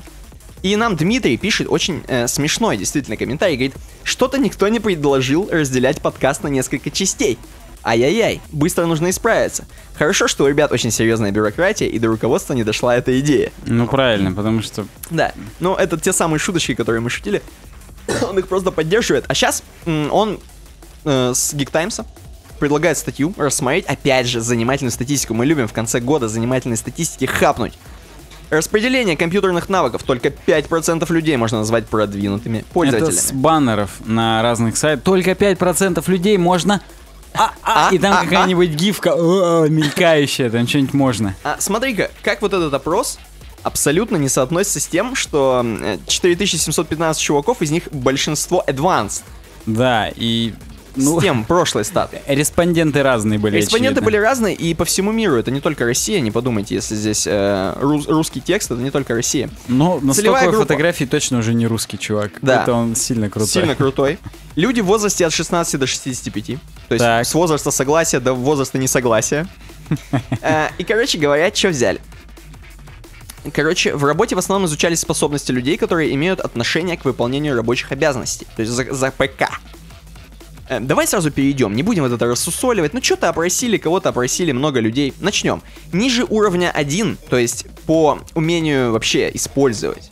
Вообще, использовать компьютер. Как здесь написано, в общем-то, здесь речь идет о почти полном отсутствии навыков работы с компьютерами. Но Таких, все же выше нуля. да, таких 14% взрослых пользователей.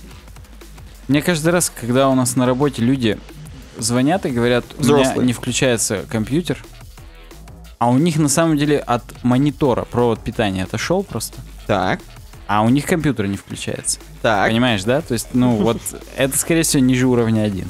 Такие люди по-прежнему есть. И Вот как- как они чайник дома могут вот включить? Вот не включается, но проверь питание. Они боятся всего нового, они просто не хотят пробовать, как мы Ну, маленькие. А я, нет, я, я их же, я-то их спрашиваю, я же быдлю, говорю, вы чё, говорю, дома, когда чайник переключаете из розетки в розетку, тоже звоните кому-нибудь? Ага. Но, говорит, здесь же я вдруг сломаю. Вот, видишь, боятся. Вот, да. Идем дальше, давай дальше. Э, уровень 1, то есть то было ниже уровня 1, то есть ниже плинтуса. Просто днище. А здесь э, чуваки, которые уже чуть пробили головой днище. 29 взрослых процентов пользователей. Они уровня 1, ну такие более продвинутые пользователи, но это нельзя назвать именно продвинутые. То есть они могут использовать браузер, почтовый клиент. Ну, как бы реализация таких задач... Даже некоторые функции найти все сообщения электронной почты от Ивана Ивановича. Да, Это я даже иногда не смогу выполнить. согласен. А тут прям могут. И 29% таких чуваков. Уровень 2. Это повыше, пацаны. На этом уровне выполнение задач требует и опыта, и специфических знаний. С одновременным пониманием самой задачи. Например, пользователь может справиться с заполнением сложной онлайн-формы, наверное, на, Вовке заполнить. Да, опрос пройти. Требующий, под- то есть ты можешь. Ты второй уровень как минимум Уже, запрыгнул. уже хорошо. Э, вот.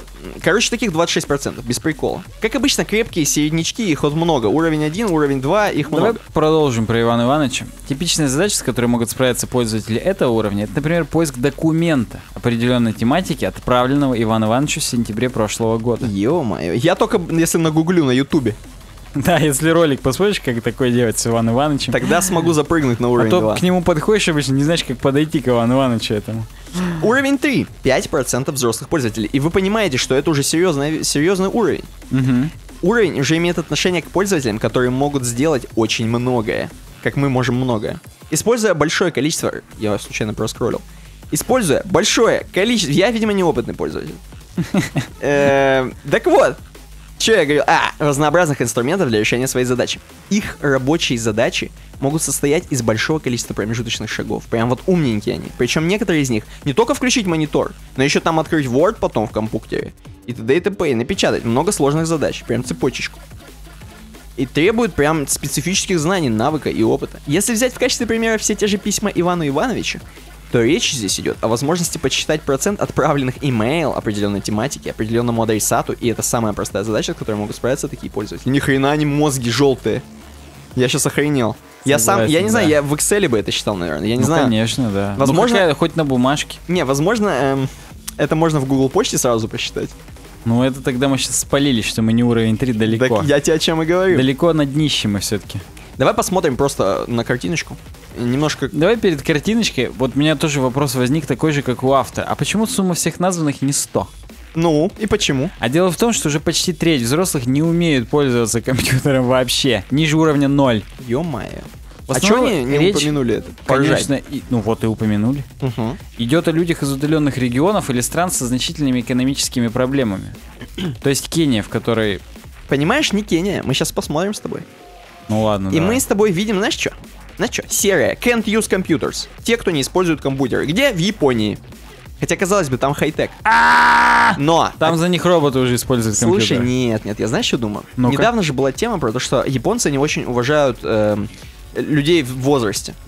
Ну да. И, возможно, они у них много живут. Японцы же долгожители, реально. Ну да. И, возможно, очень много стариков, я не побоюсь этого слова. Извините, всех стариков, которых я Все обидел. еще последние самураи. Конечно, они уже can't use computers. Вот.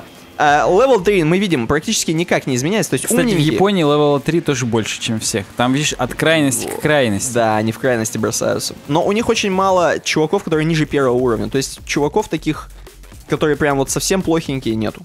Ну, почти мало. Вот такая история, господа. Слушай, что еще сказать? А, вот давай level 2 медиум, мне, мне нравится. Давай где?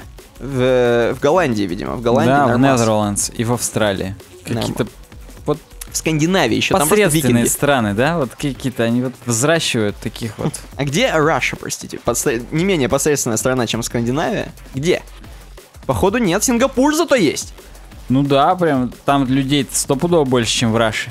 Согласен. OECD average. Что такое OECD? Там сейчас будут острова какие-нибудь, хренова. Ну-ка. Сейчас мы, мы с тобой International Helping. Организация экономического сотрудничества и развития. Кто эти люди? Сейчас Это, по-моему, чуваки, которые как входит. раз делали этот э, опрос. Нахрен. Нет, нет, это американцы, Австралия. Ну, короче, весь цивилизованный мир. А мы это государство заинтересованное во вступлении. Хорошо. Понятно. Господа заинтересованные, э, предлагаю заинтересоваться следующей темой.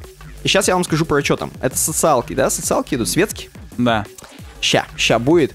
Как платить программерам меньше? Это прям серьезная тема, я даже немножко поднапрягусь. Да, да. Да, ты хотел мне сказать, что нет, а да. Я хотел сказать, что Никита ее нам первый предложил. Слушай, да, Никита пред- предложил, но это Никита, это я. Причем он с третьего раза ее предложил, что-то там. Что-то предложил, и в самом деле это очень интересная тема, господа. Я вам предлагаю так и поступить, вот как написано в статье. Пожалуйста, вот все, кто заведует... Я, я просто скажу, Никита-то нам оригинал предложил на egor256.com, Мгм. а потом нам предложил Денис К. И он уже с Хабра ее предложил, и вот ее-то мы уже и рассмотрим. Ее, да, на российском языке. Знаешь что? Ну? Суть-то какая? Всем, кто занимается управлением веб-студий, предлагаю вам вот заняться вот этой статьей, почитать просто. и действительно принять во внимание. Например, как Е- платить... Если вы сильно много примете во внимание, вы в зеркало потом посмотрите на себя, возможно, вы уже чертил. Возможно, вы свинья просто, да. Как платить программистам меньше? Вот просто, вот, вот так. И действительно, э, вот просто, как вот помешать тому, что чуваки каждый раз что-то хотят больше всего. Вот как, просто вот как будто они вот, не знаю, они все в ад попадут, я считаю. Вот все хотят, что-то хотят, под себя гребут, я не могу. Просто программисты, они жадные мрази.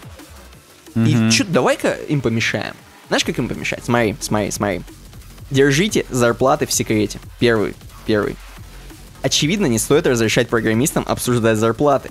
А вот как контролировать такое? В пивной же они не могут запретить. И тут тебе говорю? ответ сразу. Они Ну. должны держать эту информацию в тайне. Запретите им, а лучше подпишите запрещающий NDA, обсуждать вопросы зарплаты друг с другом. Э, точнее, говорить о зарплатах, бонусах и других плюшках. Я не тот, просто не ту строку даже прочитал. Они будут считать тему денег ядовитой. Как-то toxic, токсичной. И никогда не обсуждать вопросы зарплаты друг с другом. М? Нормас? Нормас. Первый вопрос. Повышайте случайно. Это, я вам говорю, это еще не самые эффективные советы. Дальше будет лучше. Повышайте случайно. И здесь просто о том, я не буду даже читать, просто рандом. Никогда не то, что у тебя есть система. Так, значит, в этом месяце я повышаю всем этим. Так, э, в следующем я это. Нет. Ты берешь вот этому, оп, поднял чуть.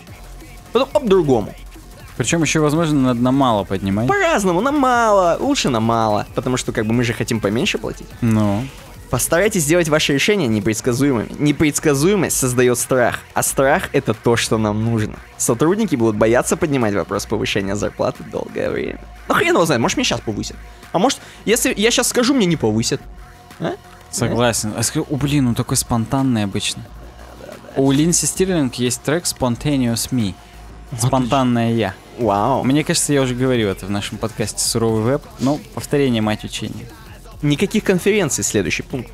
Не разрешайте им посещать метапы и конференции. Но вы понимаете, они там могут просто понахвататься. А во-вторых, они там могут подхватить что-нибудь. Да, да, подхватить. да. А в-третьих, их могут подцепить другие люди, рекрутеры, так само. Я кого подцепил? Программиста. Рекрутеры, я думаю. Ну, пусть рекрутеры. Но будут. тем не менее, да, рекрутеры. И, и- и- а, и знаешь что? Самое главное, самое главное. Постарайтесь убедить их в том, что конференция это пустая трата времени. Как Умбутун завещал. А метап всегда можно организовать в офисе вместе со своими коллегами, которые, ко- с которыми ты не можешь общаться по поводу зарплат. Следите за ними. Вот это отличный пункт, господа. Следите за ними. Убедитесь, что все они используют корпоративную почту, компьютеры, сервера и даже мобильные телефоны с установленным ПО для отслеживания каждого сообщения. Совсем идеально отдел безопасности, который будет следить за каждым и полить, чё, кого там, кто, где. Бедных программистов кошмарить просто собираются вообще. Вот это отлично просто. Договаривайтесь с конкурентами. Нет, просто тут важно, сотрудники должны знать, что вы следите за ними, потому что страх, опять же, не будет, будет лишним. договаривайтесь с конкурентами. И знаешь, вот ты можешь договориться с конкурентами, чувак, давай, короче, это, э, давай не будем друг у друга сотрудников брать. Они такие, чё, чё это, мы не согласны. И ты сразу, молниеносно, просто гамбит делаешь, берешь и у них нанимаешь сотрудников за огромные бабки, насрать, побольше им заплатишь вообще. Сказать, вот, вот Чё, как слушай, тебе? я всегда буду так делать, Как если тебе, не подпишешь сейчас вот, это. Вот, вот. Продвигайте корпоративные ценности следующее. Но это более-менее нормальная тема. Постоянно рассказывайте сотрудникам о том, что насколько прекрасна ваша компания, насколько важна ее миссия и вклад в общее дело. Вопрос зарплат покажется несущественным на фоне многомиллиардного долларового рынка, на который ваша команда пытается доминировать. Дальше Звучит страшно. Э, звучит страшно, а следующий- зла. он как бы связующий вместе с, вот, с корпоративными ценностями. Постройте семью. Корпоративы, тимбилдинги, пиво по пятницам, боулинг, дни рождения и совместные обеды. Все это создает ощущение, будто компания вторая семья. И не хочешь уходить, действительно. Как же я потеряю? Не, не смогу там с кем Виталькой поговорить, правильно? Мне вот мой начальник, знаешь, что всегда говорит? Так. Вот говорит, сделай так, что когда вот только звонок прозвенешь, у тебя рабочий день, ты просто все сразу бросаешь, шляпу надеваешь по твоему бате Мгм. и выходишь просто, и тебя ничего не волнует больше. У меня рабочий день закончился. А это у вас тимбилдинг, он тебе специально это говорит? Он, да, он... И он всегда... Потому что ты один раз, если задержишься, то ты всегда здесь будешь задерживаться просто и все. Но э, этот начальник тебе не платит зарплату, поэтому он так говорит. Если бы он платил, он бы тебе сказал, о, чувак, да, задержишься. Ну вот да, определенные есть сложности, но, но платит. Имеется в виду, что платит тебе чувак другой. Если бы другой чувак тебе бы А, сказал... Ну, я согласен, его личные деньги от этого... Ну, просто, видишь, он мой друг, поэтому как бы тут сложно. Потому что вообще-то зарплату он нам насчитывает. Мгм, И он ее все равно по-братски нам насчитывает. мгм. Но больше вдруг или меньше он не может. Ну, как бы да, не в его компетенции. Но вдруг он резко согласен. начнет повышать, ты смотри, это все оно. Если вдруг это на страхе. И внезапно еще, да, да, Да. согласен. Держите их в напряжении. Работники никогда не должны расслабляться. Убедитесь, что у них есть срочные дедлайны, сложные проблемы и достаточное количество ответственности за плечами. И как бы ты постоянно будешь давление ощ- ощущать и думать, блин, я что-то все не сделал, мне как вообще пройти премию-то просить? Да. Я то не сделал, это не успеваю, это у меня висит, как висяк. И как бы, в принципе, в твое должностную инструкцию уже заложено, что у тебя будут висяки. И ты Мгм. по- как бы не знаешь, что ты они не закончатся. Никогда. Да. Мягкие кресла и теннисные столы. Здесь даже не о чем говорить, ну просто серьезно, оборудуйте охрененный кабинет, и все будут думать, блин, круть, круть, круть, слушай, можно на приставочке у нас Кого? Как, поиграть. что просить? Тут и так прекрасно. Тут все круть. А на самом-то деле надо шляпу надевать. Да. Используйте важные названия должностей. То есть ты начинаешь называть их вице-президентами. Например, вице-президент по инженерии, вице-президент по технологиям, вице-президент чего-то еще. Это ничего не значит для вас, но очень важно для них. Зарплата будет иметь меньшее значение, чем то, какие строчки они напишут в своем профиле в LinkedIn. Который уже Роскомнадзор у нас заблокировал. Да, запрещенная организация. Вот да. Вот так, вот так. Помогите им выжить. И вот я вот это здесь не очень понял. Большинство программистов не умеют вести домашнюю бухгалтерию. Не знают, как купить страховку. Не умеют коп- Это, видимо, для американцев очень такая распространенная тема. Не умеют копить на пенсию, не знают, как правильно заплатить налоги.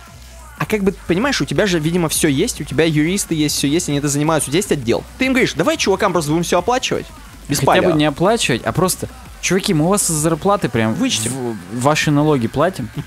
Вы как бы не парьтесь, все нормально. Прям за дом все у тебя будет Вы только не просите повышения, а то мы перестанем это платить. Потому И что- все, вы не разберетесь. Да, ты сами. представляешь, как ты с корнем тебя вырвут, если у тебя все там. Да, да. Ну и последнее, будьте другом. Это последняя и наиболее действенная техника. Программисты должны видеть вас друга. Договариваться с друг с другом о, о о деньгах сложно.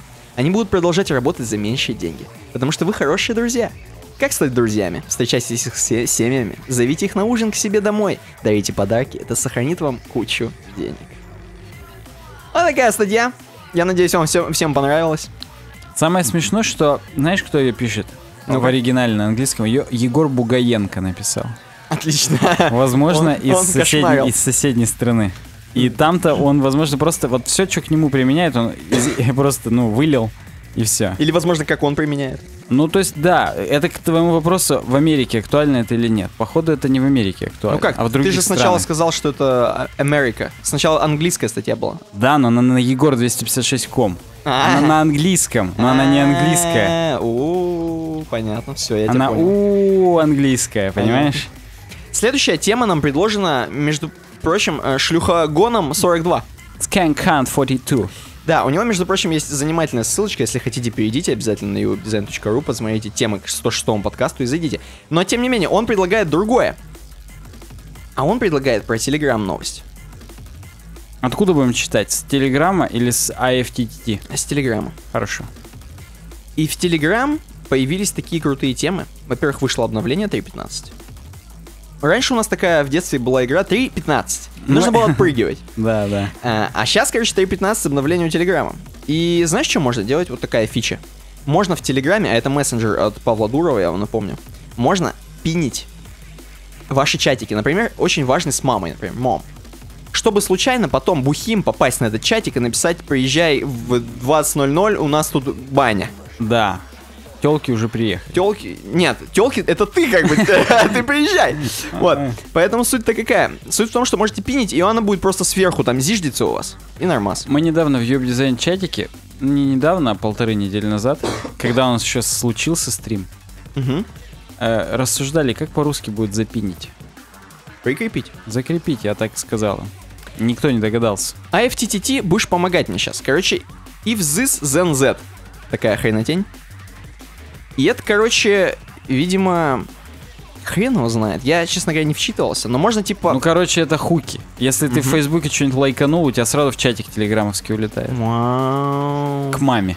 Опять же. Да. Там, где ты девочек лайкаешь. Скорее всего. М. Или если в Инстаграме запостил, сразу хоп, кому-нибудь в чатик улетает. М, полезная функция. То есть, чтобы прям не запариваться, уже максимально, чтобы за тебя все делали, как э, в компании. И, кстати, кстати, Telegram, видно, поддерживает Android, потому что Making Android Great Again, они пишут следующий за- подзаголовочек. Смешно. Они сделали очень хорошую, я не знаю, в iOS нет или нет, я вообще не использую вот эти все вещи, типа подредактировать фоточку, мне потому что нахрена. Ну, я использую, но не в... Не в Телеграме. Да, не в Телеграме, а просто я захожу в фото, или когда переворачиваю, иногда кадрирую, иногда в- сделаю это магическое выравнивание экспозиции. Но ничего такого сверхъестественного, ничего противоестественного, я бы даже сказал. Да, и вот в андроиде это добавили, то есть круть-круть можно редактировать. Еще мне нравится функция, как на ютубе, как в приложении ютуба, можно э, в какой-нибудь угол сдвинуть YouTube видео, ну не в какой-нибудь, а здесь конкретно в правый верхний угол, и оно просто у вас будет играть там на фоне, а ты Картинка будешь в чатить. картинке это называется, как Там- на старых телевизорах в нулевых. Между прочим, там конференция Overwatch у него заскринена. Опа. Откуда ты знаешь? Вон написано Overwatch. А вдруг конференция вообще о другом? По новым компьютерным технологиям и защите компьютерных программ, как в «Брате 2». Да, там чуваки пишут что-то про Макри, то есть там, в принципе, хорошо. Они стикеры еще используют. Вот такая, вот такие новиночки в Телеграме. Я не знаю, вы используете или нет, но многие уже перешли, многие уже пользуются. Ставь лайк, если ты пользуешься IFTTT, и напиши в комментариях вообще, какие практические cases помогает решить данная интеграция. Следующая тема, она в светских как бы у нас. Я не уверен, ее, наверное, можно в научпоп, а сейчас про WordPress. Доте- Как думаешь, дотянут до следующей темы? Через WordPress, переходя, вот так. Поменять вот эту вот, которая про Трампа? Я без комментариев это передвигаю просто. Отлично, давай, сейчас WordPress вжарим. Давайте, жарим. WordPress может быть использован как фундамент для веб-приложений разработка. Отлично. У тебя написано WordPress freak и you know it. Я абсолютно не знаю, почему я такое название придумал вдруг. Как э, I'm sexy and I know естественно. Но здесь э, интервью с Томом Макферлином. И на самом деле я часто у него на блоге бываю. Он очень круто практические примеры постит про WordPress. То есть, в принципе, на данный момент он широко известен в узких, узких кругах, опять же, да, как э, крутой WordPress-разработчик, который именно нетривиальное дерьмо предлагает. То есть, прям вот сам берет, пишет какие-то куски. ну, Еще один Explorer. да, да, да. Прям вот то- очень точная характеристика. Ты можешь подержать вот так и покрутить, чтобы она у тебя не ходила вот так ходуном. Прям вот держи за горло ее и, и крути. Я уверен, что нормально будет. Не, не, вот, вот, Вот да, вот так держи и во, вот так, да. То есть только, только ты приподними ее, ты еще просто туда-сюда делаешь. Мы это вырежем, скорее всего, я сейчас маркер поставлю, чтобы... Давай, энтузиаст общем, WordPress. Кстати, да, этот, как евангелист, во, евангелист WordPress-овский. Часто я у него на сайте подглядываю всякое. Вот такой человек я нашим подписчикам демонстрирую на данный момент на экране. Там своего. бородатый, да, чувак какой-то? Ну как, ну с легкой небритостью. Бородатым я бы его не назвал. Хотя по сравнению со мной, конечно, бородат. Что там говорить-то? Так. Спрашивает его Том, братан, расскажи вообще чуть-чуть о себе. Вот ты как бы такой же чувак с именем. А почему вообще... когда все началось? Ну, говорит, в 9-10 лет началось. У меня в семье появился первый компьютер. 386 был, 8 мегабайт оперативки на борту. Ну, застали. Ну, мы с Никитой, да, уже неоднократно рассказывали, с чего у нас начиналось, не будем повторяться. Но вообще для тех, кто недавно подсоединился, с 486 в основном, а у Никиты с 133 Pentium. Ну, у меня с первого Pentium, да. Да. Ну, Wolfenstein Doom 2. Короче говоря, хрен бы это, а он уже практически в 11-12 лет уже писал приложение на Visual Basic 3.0. Еще на дискетах он получил компилятор. Ты имеешь в виду, у 3,5 него дюймовых, деревянные игрушки были? походу. То есть э, люди-то, которые WordPress занимаются на профессиональном уровне, они с Visual Basic начинали. Там дальше хорошо, он ностальгирует, что он играл в Wolf- Wolfenstein и Doom 2. Да, да, это, я, правда, уже это прошел, но... э, Visual Basic 4, говорит, я. Пот- Потом, говорит, я с винды на Linux перешел. Свитер, М. свитер надел, бороду свою первую. Так. И начал возвращаться к Windows, потому что на Linux видяха у него не поддерживается. Че-то все. То есть как бы игрулькать он не смог, вернулся на винду и Borland C, C++. Понял, что он ковырнул-то? Ну, мы ковырнули. Согласен, мы с тобой примерно тот же путь проходили. Только без Visual Basic. Ну, он, конечно, постарее, чем мы. Ну, я думаю, лет на 5, не, не то чтобы на 20. Но выглядит на два. Ну да. По- по- когда в колледже был, я все вообще, от C до Java, от PHP до Ruby on Rails, все, Мгм. говорит, пробовал. Все виды наркотиков. Так. Э, Работал, зарабатывал деньги и на PHP, и на .NET, и на рельсах, и теперь на WordPress. А он WordPress с PHP разделяет. Кстати, несмотря на то, что его, так скажем, решения для WordPress, они на самом деле демонстрируют то, что он именно хороший PHP-разработчик. Мгм. Я на самом даже без, без на самом деле, без слов паразитов вот этих гадких. э, Просто скажу некоторые положения из этого интервью, которые меня не то чтобы потрясли, а просто показались занятными, потому что по факту он здесь просто про себя рассказывает и все. То есть не то чтобы он нам какие-то советы здесь дает, очень крутые. С 2005 года он WordPress занимается. И в принципе... Как он в 2005-м-то вообще выживал там в WordPress? Не знаю, но возможно, если ты просто моложе нас, а если я прав и он на 5 лет нас моложе, то как раз Старше. вот... две- Да, старше. То как раз в 2005 ты и начнешь WordPress примерно одновременно с нами. Я знаешь, что еще думаю? Он, возможно, помнит те самые времена, когда вот не было вот этого кастомайзера. Он, возможно, именно по ним и ностальгирует сильнее всего. Как стопудово. по Думу Вольфенштейну. Это, говорит, я еще занимался до того, как на Stack Overflow все спрашивали все. Все гуглят сейчас. Вот я, говорит, тогда, когда еще все прикольно было. То есть по книгам хреначил? Или что? А хрен его знает, возможно, просто башкой все пробивал. Сурсы смотрел, думал головой. Explorer. Может быть, на форумах общался. Вот, ну, не на Stack Overflow, а именно на, в буллетинах и по ХПББ. Потому что, ну, а почему бы и нет? В то время все этим занимались. И я, говорит, когда работать начал, уже на рельсах делал, все. Но потом, когда все-таки начал работать над чужими проектами, когда ему начали говорить, блин, да делай сайт. Или там, блин, переделай вот здесь футер. Мгм. Начал работать с WordPress. То есть, видишь, его рынок заставил. Если бы он не в своей стороне начинал, возможно, все сложилось бы по-другому. Был бы короткоствол, да, было бы все иначе. Поэтому WordPress, чуваки, чтобы вы понимали, это, это бизнес в этом. Поняли? Даже при том, что вот такой матерый программист. Да, да. Это не то, что тогда только так было, это и сейчас так. По опыту своему говорим. Круто, круто. Я, говорит, кроме того, что... Его, точнее, спрашивают. Когда работал WordPress уже в open source ты контрибьютил. И до этого был Microsoft MVP. Мгм. А Microsoft MVP это Most Valuable Person практически. Да, да. И Но не максимум valuable player еще есть такой чувак, который вообще играл прям на матч лучший МВП. ну, здесь это именно чувак, которого номинируют от региона, что он вот главный по Microsoft здесь. Он говорит, в принципе, не то чтобы за это надо держаться как за работу, это просто номинация. И если ты, видимо, уже работаешь с .NET, Мгм.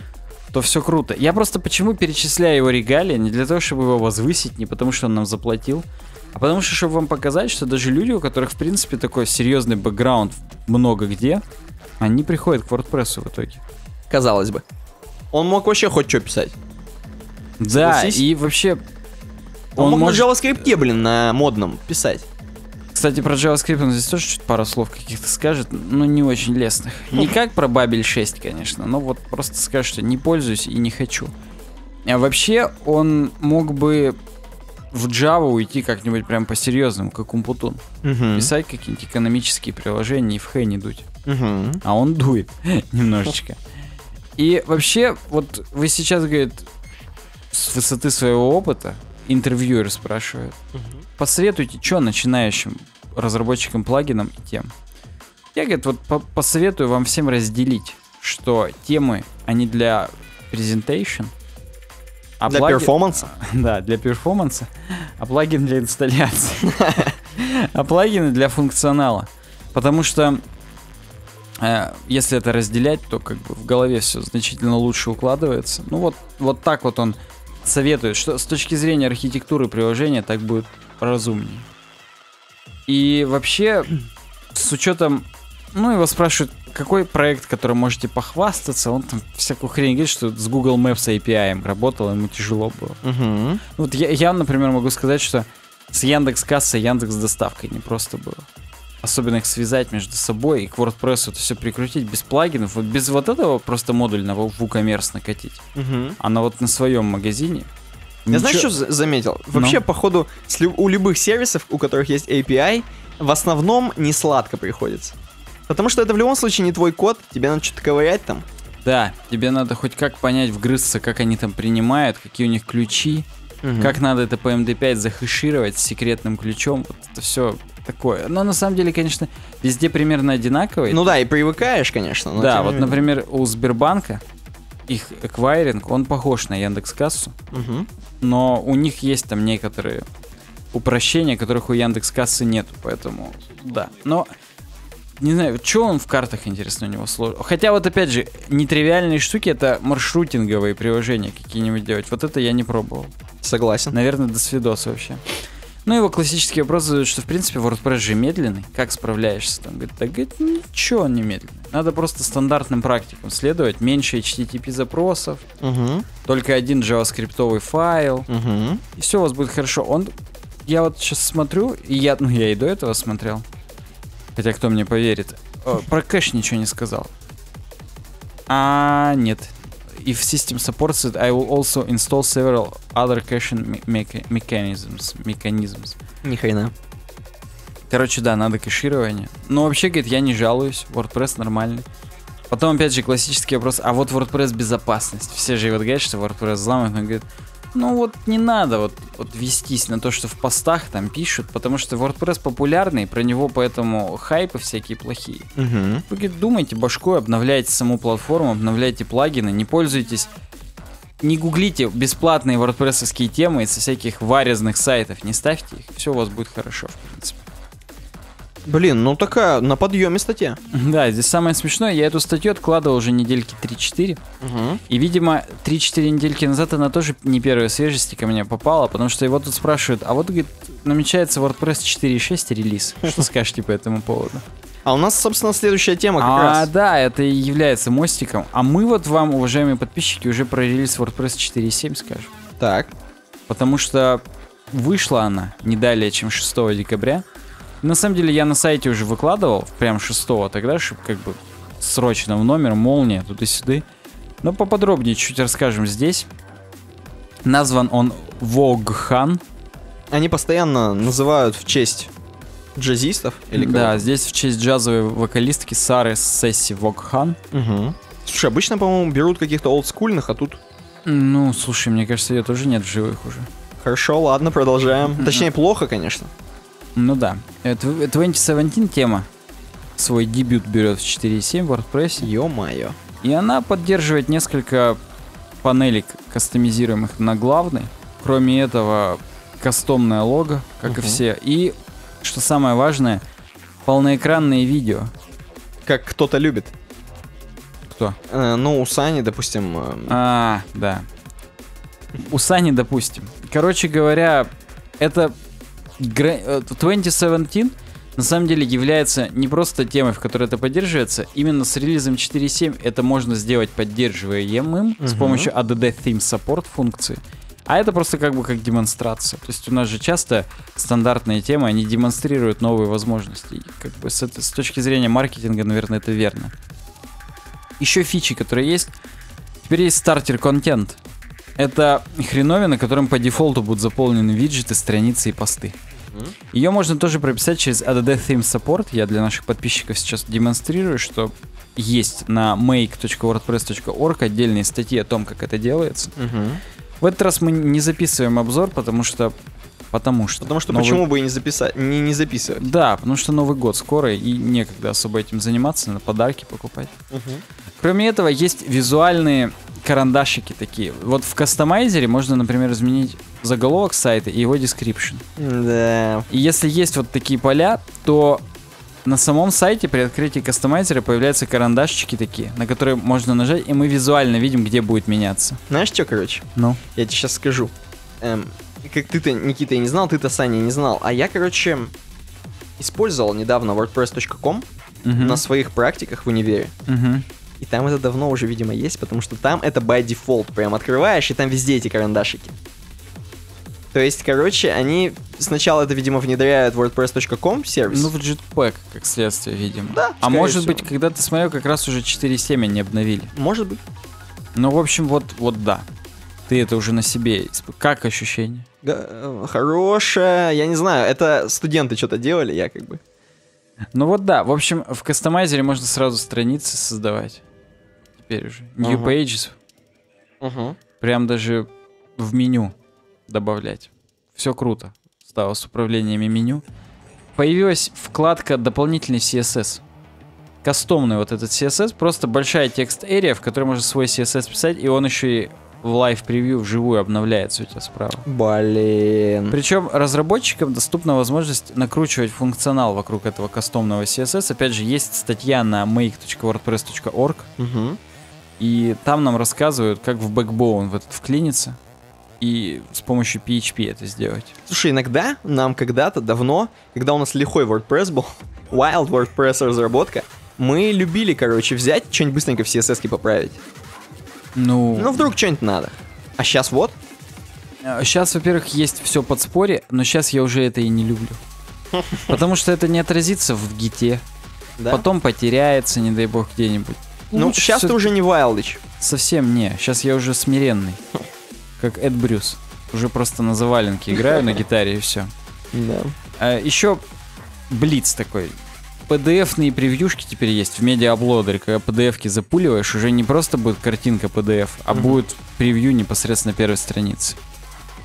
Медиа-библиотеки теперь можно искать по названиям файлов.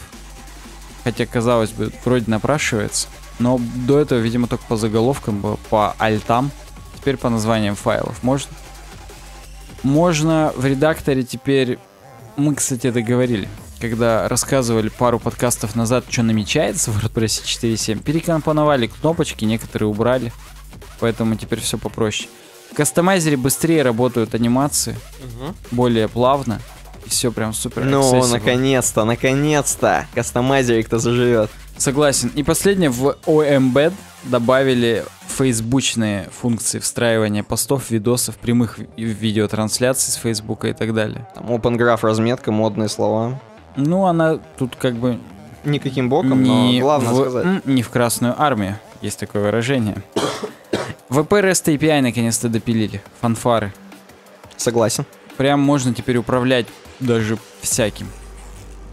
Ну, тут опять же есть э, официальная теперь документация на wordpress.org, developer.wordpress.org slash REST API. Здесь прям все написано, как, какие глобальные параметры, как таксономии менять, комментарии, как их запрашивать, как юзеров запрашивать. Все прям, все для вас. Кроме этого, для разработчиков ра- шаблоны для посттайпов. Теперь не только для страниц есть кастомные шаблоны, но и для любых посттайпов, которые вы захотите. Кастомные соб- э, действия для нескольких сразу выделенных элементов. Это мы прям показывали на гифках тоже в предыдущем подкасте. Что С можно котиками теперь, причем гиф. да, не только выбрать все и удалить, а выбрать все и отправить на мыло, например. Да, Вот такое, помнишь, было. Было. Ну и кроме этого, пересмотрели немножечко опиху VP-хук. Мгм. Экшены и фильтры, если вкратце, теперь будет сложно сломать. Как Вау. э, чернорука. Ни хрена. Потому что иногда возникали проблемы с глобальными переменными, потому что вообще глобальные переменные это bad experience, антипаттерн. Вот теперь их не будет, скорее всего, возникать. Наконец-то, господа. Мгм. Вот такой вот блок WordPress. Напишите, как вам вообще блок WordPress. Может быть, надо его блок Joomla превратить, и мы все равно не превратим, но вы напишите, поржем хоть. Мгм. А следующая тема из научпопа, она как бы из э, светских новостей, но она... Не-не-не, мы сюда Трампа перевели. Да, я имею в виду, она А, как бы из ага. светских новостей, но, слушай, это практически научпоп. Вот реально. Нам, господин Альберт, а он один нам предложил или много людей? Вот я, видишь, ему ответил, что кто-то где-то предлагал. И я как тогда не помнил, так и сейчас, кто и где. Но то ли уже просто везде это было, То ли, Ты может, мне к кинул 105 несколько- выпуску. Ты мне несколько практически статей кинул, и они там две не открывались, одна открылась, по-моему, и мы как раз вот то, что неё. предложил Альберт, не открывалось на момент подготовки. Сейчас попробую еще раз. Не, упс, ремонтные работы. Вот такое мне пишет nmm.me. Это, видимо, из-за статьи, потому что статья действительно бомба. Действительно бомба, как он здесь и пишет, много букв. Э, придется читать, придется что-то... Мы читать вам не будем, я уже это прочитал. Я это прочитал еле-еле, перекрестившись. Со второго раза. Со второго разу, я как бы человек военный, повторяет два раза и медленно. Он пишет про эффективное использование аналитики и аккаунтов, аккаунтов соцсетей и управление общественным мнением посредством таргетированной контекстной рекламы. Я взял на себя ответственность, нашел на другом источнике, не на том, который Альберт предлагает, и на theins.ru каком-то. Между прочим, слэш политика, то есть все-таки это политика, это не, Не IT. politics, а политика. Во-первых, да, но я вам скажу, что это даже больше IT, чем политика, честно. Это даже не то, что эм, про Трампа, это скорее про таких людей, как, как Стив Джобс, про таких людей, как... эм, Стив Возняк. да, просто перечислять весь Apple как. Стив Балмер. Да. Про всех Стивов перечислять. Ну, и на самом деле не в очень хорошем свете их все-таки тут здесь окрашивают. Хотя кого-то в хорошем, а кого-то нет. И на вот на The Ins, вот на Insider, на The Insider, здесь как-то красиво написано, как будто так и хотели. Так вот, некий журнал Das Магазин, как Das Колбас, опубликовал расследование о том, как технологии персонализированной рекламы в сети Facebook повлияли на итоги выборов в США. И мы с тобой об этом говорили, но мы говорили это на очень дилетантском уровне. Ха, прикинь, там алгоритмы выдавали Трампа. Ну, по-моему, я тебе просто рассказывал практически. И ты мне рассказывал. пивной, опять же, Да. что вот Хиллари мало денег, ой, много денег ввалила, но в телек. А Трамп мало, но в интернет. И он поэтому выиграл. Да, мы сейчас немножко под- поднимемся из э, beginner в, но- в новис, В Навайс. да, немножко такие новичочки станем, чуть-чуть. Потому что все-таки Хиллари и в интернет впуливал бабло. Но об этом позже. И мы начнем. В половине девятого утра, 9 ноября, Михаил, Михал, Михал, Михал Казинский проснулся в тюрихском отеле Сун, Сун- Сюннехус, видимо, Суннехус. Зюннехус, если будем по-немецки Да. читать. 30 он 34-летний. Он достаточно молод. И он ученый. Приехал выступить на Федеральной высшей технической школе. С докладом про бигдейту. С тем самым докладом, как вы понимаете, о котором пойдет дальше речь. И он такой, короче, сел. А 9 ноября это случайный день выборов. День выборов же, да, по-моему. Ну, слушай, Короче, с подобными лекциями Нет, Казинский разъезжает по всему миру. А ведь он является ведущим экспертом психометрии. М? Раздел психологии, основанном на анализе данных. То есть он как бы аналитика и психология сразу вместе. Включив телек утром, он понял, бомба разорвалась, Дональд Трамп избран президентом США. Несмотря на все прогнозы социологов. такие там и социологи. И понимаешь, понимаешь, вот, возможно, тогда я боюсь за его сердечко, как оно у него заколотилось, потому что смотри дальше. Мгм. Казиныч, Казиныч, Михал. Он, короче, что делал? Я не буду, я здесь опущу здесь все вещи-вещи. Э, пр- произошла такая история с ним. Он, короче, Мне докуда доскроллить? ученый, да ты просто там скролли, я не знаю, ну пока так, немножко пос- поскраливай. Он ученый, и он э, в университете, еще при царе Горохе, когда еще Facebook только начинал, такой типа это. Давайте проведем быстренько анализ, короче, подключимся практически опихой, или я не знаю, чем они там подключались, в общем, сделаем такую хренотень, которая соберет м, данные с Фейсбука, когда еще на Фейсбуке там был один, э, только Цукерберг сидел на нем. Давайте соберем быстренько дату. Э, именно дату имеется в виду, ему там опрос нужно бу- будет учебный по психологии хренануть. Мгм. Давайте соберем, окей. А Facebook быстренько превратился в монстра такого, с огромным количеством народу, и они все это собирали. Они это все собирали, и надо э, сказать, что не без применения своих вот этих ученых технологий по психологии. То есть у психологии это, кстати, наука, пацаны. Ну, не будем спорить с этим. Допустим. Они применяли метод океана, чтобы ты понимал. Это В- какой-то прям по буквам Ocean. Ocean. уравне... Как сказать, устоявшееся название Да, походу это серьезная тема. И они, значит, применяли что? Два психолога 80-е. Откатимся назад. Не могу понять, где это. Это, блин. короче, это Какая картинка рядом? никакой картинки. Это просто посреди. Я говорил, что тема хорошая, в принципе. Здесь ни картинок, ни хренинок. Чуть выше, на второй, второй абзац вверх от Михаила Казински. Там написано психометрия, которую иногда зовут психографией. А, понял. Я уже, ты бы знал, куда проскроллил, а тут, оказывается, еще тут. Метод океана, господа. И это что значит? Это значит, так называемая большая, большая пятерка, большая, большая пятерка, Большой э, theta. большой фета, это, короче, пять черт характеров людей. Пять измерений. Ё-моё. Значит, что есть? Есть, господа, открытость, насколько вы готовы к новому. Добросовестность, насколько вы перфекционист. Экстраверсия, как вы относитесь к социуму. Доброжелательность, насколько вы дружелюбны и готовы к сотрудничеству. И нейротизм, насколько легко вас вывести из себя. И на основе этих измерений можно точно понимать, с каким человеком имеешь дело. Мгм. Суть какая? Перейду дальше. Казиныч. Сам Михал. Его нельзя умолять его способности, он знаешь, что сделал? Он поляк. Он, во-первых, поляк, во-вторых, вот он красавец. Тут есть фотография его. Угу. Он, короче, э, вот этот My Personality сделал, к Facebook прикрутил. И потом мог, знаешь, что делать? Он, мо- он такую бигдату собирал, что на основе вот этого Ocean и бигдаты, которая собрана, он мог определять, что, допустим, настолько точно все было, да, что из простого анализа данных в сети могут получиться необычные выводы, здесь пишут.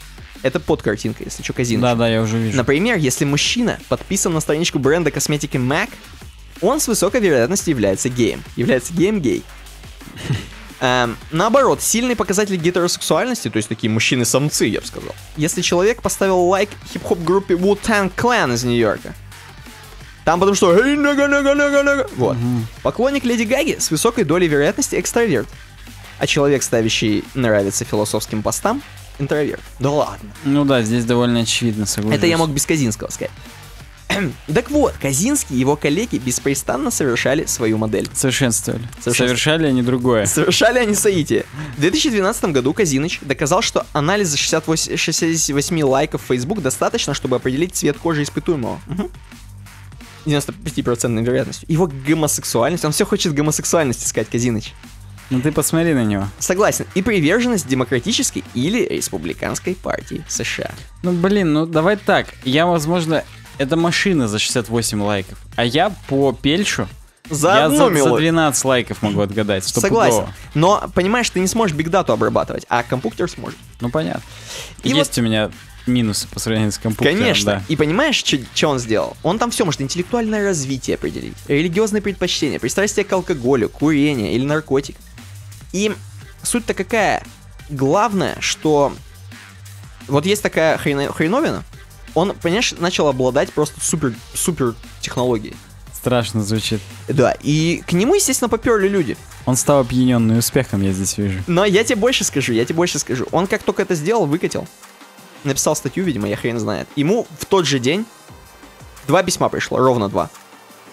Первое с жалобой, а второе а, иди к нам работать. И это все Facebook написал. Нормально. Нормально. Но Казиныч, он, видимо, ученый чувак. Он не стал Фейсбуком заниматься. Я сейчас не буду врать, но вроде как не стал. И знаешь что, к нему обратился другой чувак, Беспалево. Беспалево такой, давай, может, за большие бабки. Мы у тебя все расскажешь нам. Как у тебя что, все, вообще все алгоритмы нам. И он такой, ну бабло. А тут, кстати, есть фотография чувака Александра Когана, которому он все сливал. Я сейчас, как будто тут у нас какое-то ЧП произошло. Но хотя произошло на, на весь мир. И вот Александр Коган, вы посмотрите, обратите внимание, это чистый Цукерберг. М? Фотография. Но мне Шувалова еще чуть напомнил. Хорошо. М, Немного Дерипаску с какой-то Вот, вот. стороны. Но этот чувак, возможно, покруче, чем Дерипаска, потому что он, знаешь, что сделал? Он все-таки уговорил Казиныча. Казиныч ему начал сливать инфу, и вроде как вообще все слил. А потом, когда он ему все стоп, слил... инфо об алгоритме или саму Big Data уже обработанную? А, видимо, инфу об алгоритме, потому что потом это все будет уже использовано в других целях, как вы понимаете. И, значит, Александр Коган, он начал, ну, практически на него давить там, или что-то с ним делать. Ам, а Казиныч, он понял, блин, надо это, надо, походу, сливать. Чувак-то, он будет сейчас использовать эту хренотень, и это в, в плохие руки попадет. Что я делаю, Казиныч? Опомнись, Михал. Угу. Вон. Но уже не опомнится. Алгоритм слит. Без проблем. А, нормасик, все. И, короче, там началось, по-моему, у Казиныча даже какие-то проблемы, возможно, начались. Я не знаю, скорее всего, полового В. Штаты переехал. Да. Начал работать в Стэнфорде. Согласись, из Кембриджа в Стэнфорд. Вот, вот. Э, Значит, дальше что? Дальше Брексит. Брексит это, как мы знаем, когда Британия вышла из... э, Заявила о том, что собирается выйти. Так-то они все еще не вышли. Ну, по, по факту, да, заявили. Заявились. и я, как, как я понимаю, здесь есть некая Cambridge аналитика. А Cambridge, как мы понимаем, в Англии. Угу. И вот они вдруг каким-то образом смогли предугадать, точнее даже не предугадать, а подтолкнуть Британию к выходу. К заявлению о выходе. То есть смотри, допустим, у нас есть инфа о предпочтениях людей. Да. И мы всем таргетированно говорим, чувак, иди голосуй за Брекзит. Тому, кто любит пиво, на фоне кружки пива. Конечно, конечно. Тому, кто, любит женщин, на фоне женщин. Конечно. Ты вы- выйдешь, и у тебя только британки останутся чистые. Да, ух, ё-моё. И все такие, ну, у них нахухлилось. И они реально, вот, все, окей, Кембридж Аналитика посодействовал Брекситу, но мы идем дальше, идем дальше. Господин Трамп, каким хреном, я не понимаю, но он узнал про Кембридж Аналитику. Сам, не сам, но в общем, да. Сам не сам, и здесь очень красиво выглядит. Здесь есть э, такой вылизанный директор Кембридж Аналитика Александр Никс. Просто такому человеку лучше не попадаться, он тебя схавает, сразу сожрет. Такой чувак. Он, знаешь, на кого похож? На Карпина, на тренера Спартака и одного из владельцев. Сожрет, я и говорю. Ага. И, короче говоря, там еще очень хорошее описание было, но я сейчас не буду его зачитывать, там как он выходит в галстуке такой, короче, эм, прям, прям, блин, крутой, и начинает рассказывать, а он выходит на каком-то супер саммите. Практически, когда и Трамп есть, они как презентацию делают. Вот мы, Кембридж Аналитика, у нас такое-то есть, мы можем вообще все предугадывать. И, соответственно, предугадывая все, мы можем и таргетировать рекламу и какие-то вещи, да? Просто самое главное, что Казинский, он каждый раз оправдывается, доказывает, что к той фирме он не имеет никакого отношения. Мне интересно, он хоть бабок хоть чуть-чуть поимел с этого, или у него реально он проснулся, его обобрали уже. Его обобрали, и хорошо, что, видимо, не посадили. И даже не перезвонили. Да. Значит, какая суть? Суть в том, что, короче, они легли под Трампа, Cambridge Аналитика. Хотя хрен знает, кто под кого лег, потому что пацаны, они собирают вообще инфу со всего. И э, когда вот Трамп их э, нанял, то есть давайте, пацаны, Cambridge Аналитика, там, замутим, короче, аналитику по поводу вообще аудитории США и как, куда, кому пулить рекламу. Там настолько все замутили, естественно, что э, Хиллари, она как? Ну, вот черные чуваки, да? Давай черным просто. Ты черный? Давай, короче, тебе просто, что черные будут всегда рулить. Мексиканцам просто что слушай, Трамп всё. хочет вас это, Да, просто поэтому вы идите такая. против него голосуйте. А потому что они даже ничего не знали. То есть у них есть вот э, данные с Фейсбука, которые отдают там 45-60 лет. Ну давай там, что теплая семья будет, все классно будет, а с Трампом говно. А, короче, Трамп, он зашел через Cambridge Аналитику, которые просто узнали о предпочтениях. Вот давай, короче, типа это. Э, Там есть пример про, по-моему, черных чуваков или про мексиканцев. Слушай, про мексиканцев. А, он говорит, типа, они подсунули, короче, каким-то там мексам эм, видосик, где Хиллари говорит, что мексиканские мужчины это там практически э, звери, вот так вот. А она, видимо, когда-то такое говорила. Возможно, там по пупам все. А, мексиканские мужчины, я не знаю. Да, да, там по словам, по буквам совмещено это все. И, значит, эм, вот подсунули, и пацаны, им в точечку это попало. Они проголосовали за Трампа. И вот Просто видишь еще, вот давай так. Я пытаюсь просто... Я пытаюсь просто. Ты пытаешься просто, я пока расскажу. Там настолько, короче, была тема, что они сделали вот специальные девайсы, как знаешь, на телефон, там, на Android, на iOS, Pril, Pril, которая, видимо, подключается к Гу- э, Cambridge Аналитики, Google Аналитики, хотел сказать. Э, Cambridge Аналитики подключается, и чуваки, которые э, топят за Трампа, которые именно, как же называются, которые ходят бесплатно-то, волонтеры, во. Они ходят и с этим прилом и смотрят просто, так, это как по дубльгису, так, это в этом доме у нас тут живут, короче, чуваки, а у них все, Cambridge Аналитика все сняла уже. Все, все за них сделано. В этом чуваки, которые любят там футбол, например. И ты И заходишь... они во Вьетнаме Чё, большинство да, воевали чё как ещё. прошлый матч, кстати, нормальная тема. Чё как там, кто выиграл? Чикаго Буллс, там вся фигня. Все, они такие, о, ни хрена, нормальная тема, а тут оп, Трампыч, подсунуть. А, кстати, если Трамп выиграет, то Чикаго Буллс всегда будет выигрывать. Да даже просто, кстати, голосуй за Трампа. Просто. Просто ты уже когда настроил человека на свой лад, Тем более, ты понимаешь, в Америке сказать просто «Hey, guys», зайти к чувакам, сказать «Привет», да, всё да, без да, проблем. это прям вот проще, чем здесь. Да, проще намного. Никто на тебя косо не посмотрит, скажет, ой, сразу, ой, ты своего пришел, этого Путина. Да, мы ничего не покупаем, ничего не продаем, Путина своего этого засуньте себе в Cambridge аналитику. Мгм. Вон. Тут и очень большая такая история про Теда Круза, что действительно они Теда Круза из дерьма подняли, то есть он был вообще на нулях, никто про него не знал, не ведал, и они, как Тома Круза его сделали знаменитым и крутым. Так. Это Cambridge Аналитика. Короче говоря, Трамп попал в точку с этой всей темой. И он как бы понял, вот к- кем нужно пользоваться, не старыми методами. Хотя Хиллари считается, что она из-за того, что она преемственная баба от Барака Обамы, а он первый чувак, при котором появились соцсети.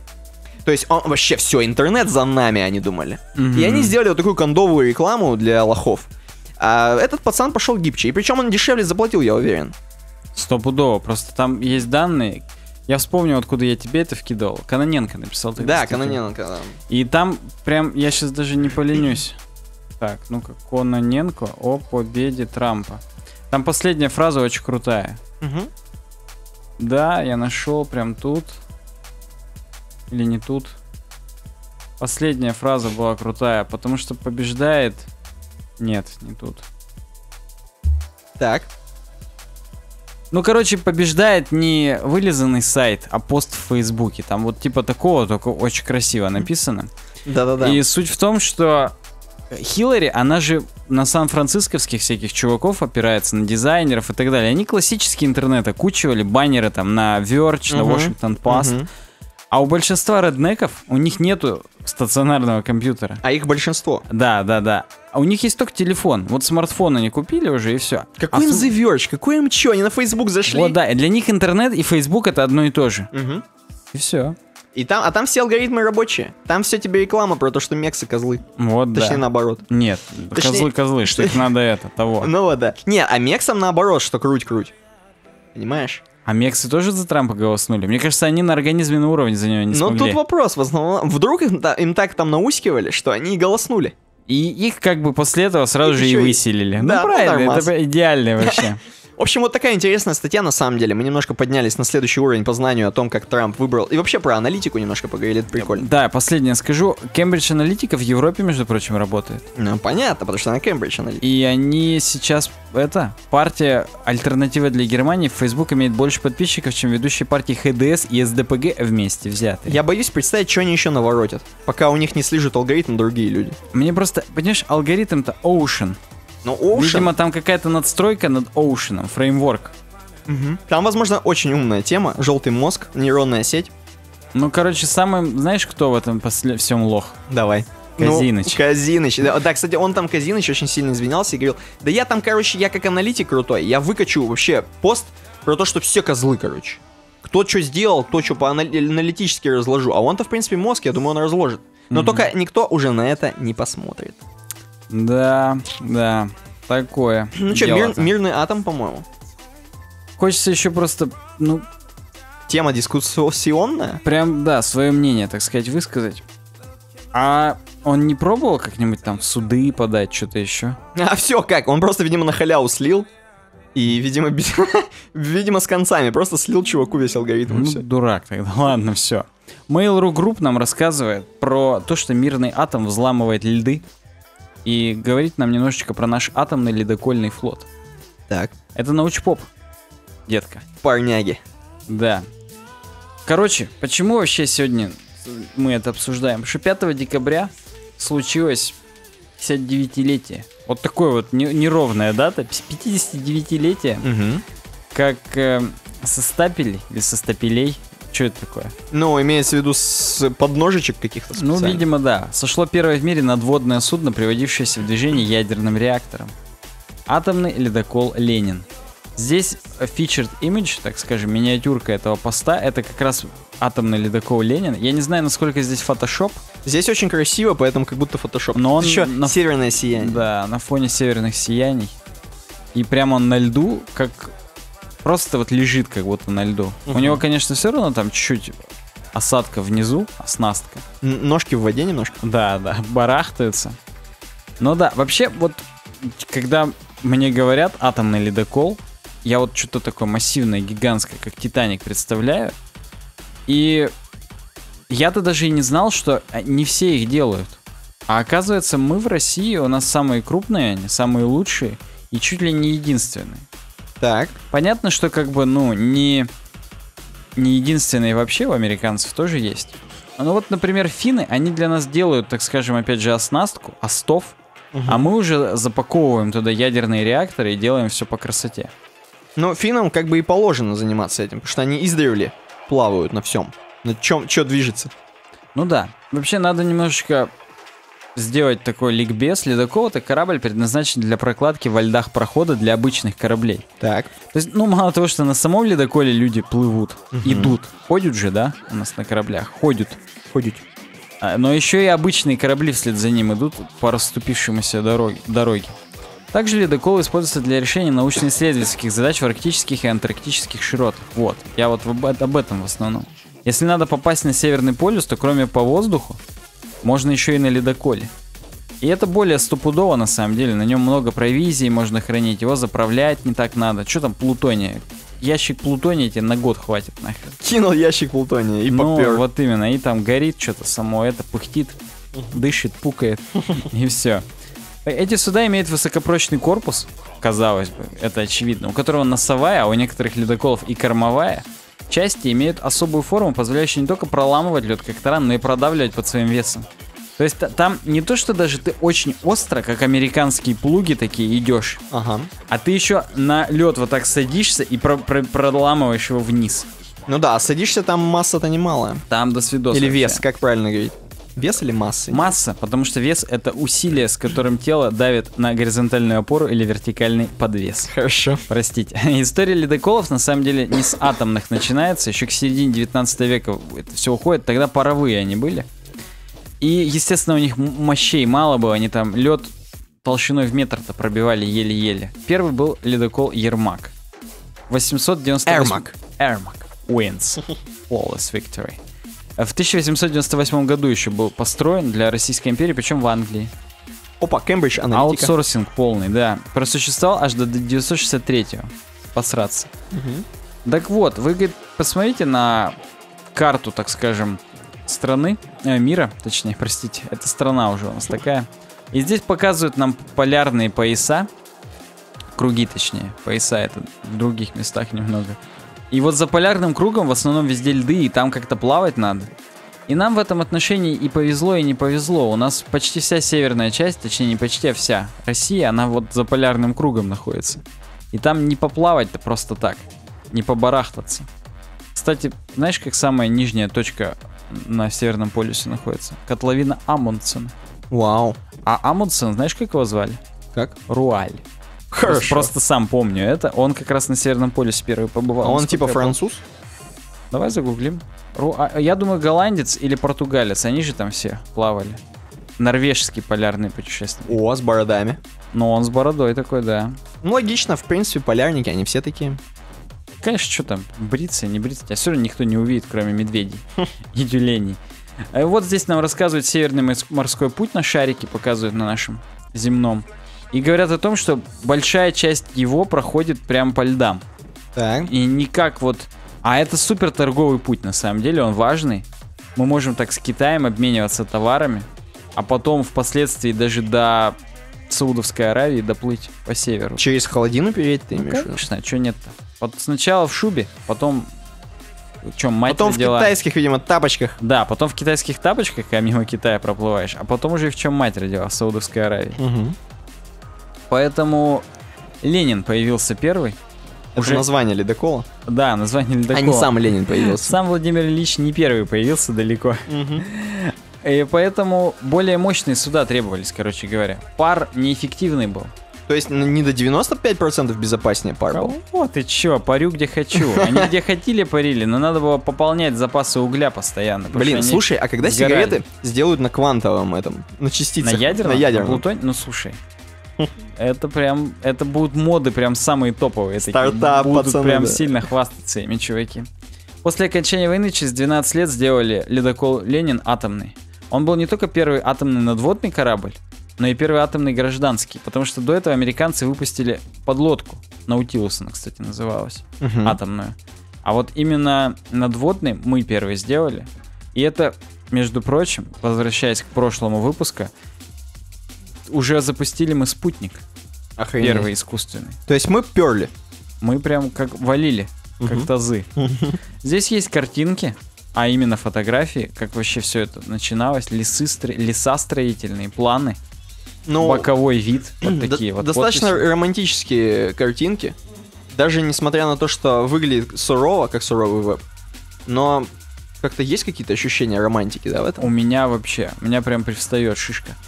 Потому что здесь даже есть картинка. Первый атомный встречается с первым арктическим Ленин и Ермак в одном порту. Блин. Возможно, там чуваки друг об друга шампанское разбили по десантникам, чтобы поплыть Да, нормально. конечно, бухали. Ты откуда? Ты с Ленина! А! Ты понимаешь, что там есть чертеж, как на этом, на черчении, и там Да, все да. заполнено, штампик, все Да, есть. да, там боковой вид. Так что, господа, можете собрать хотя бы из бумаги себе такого Ленина.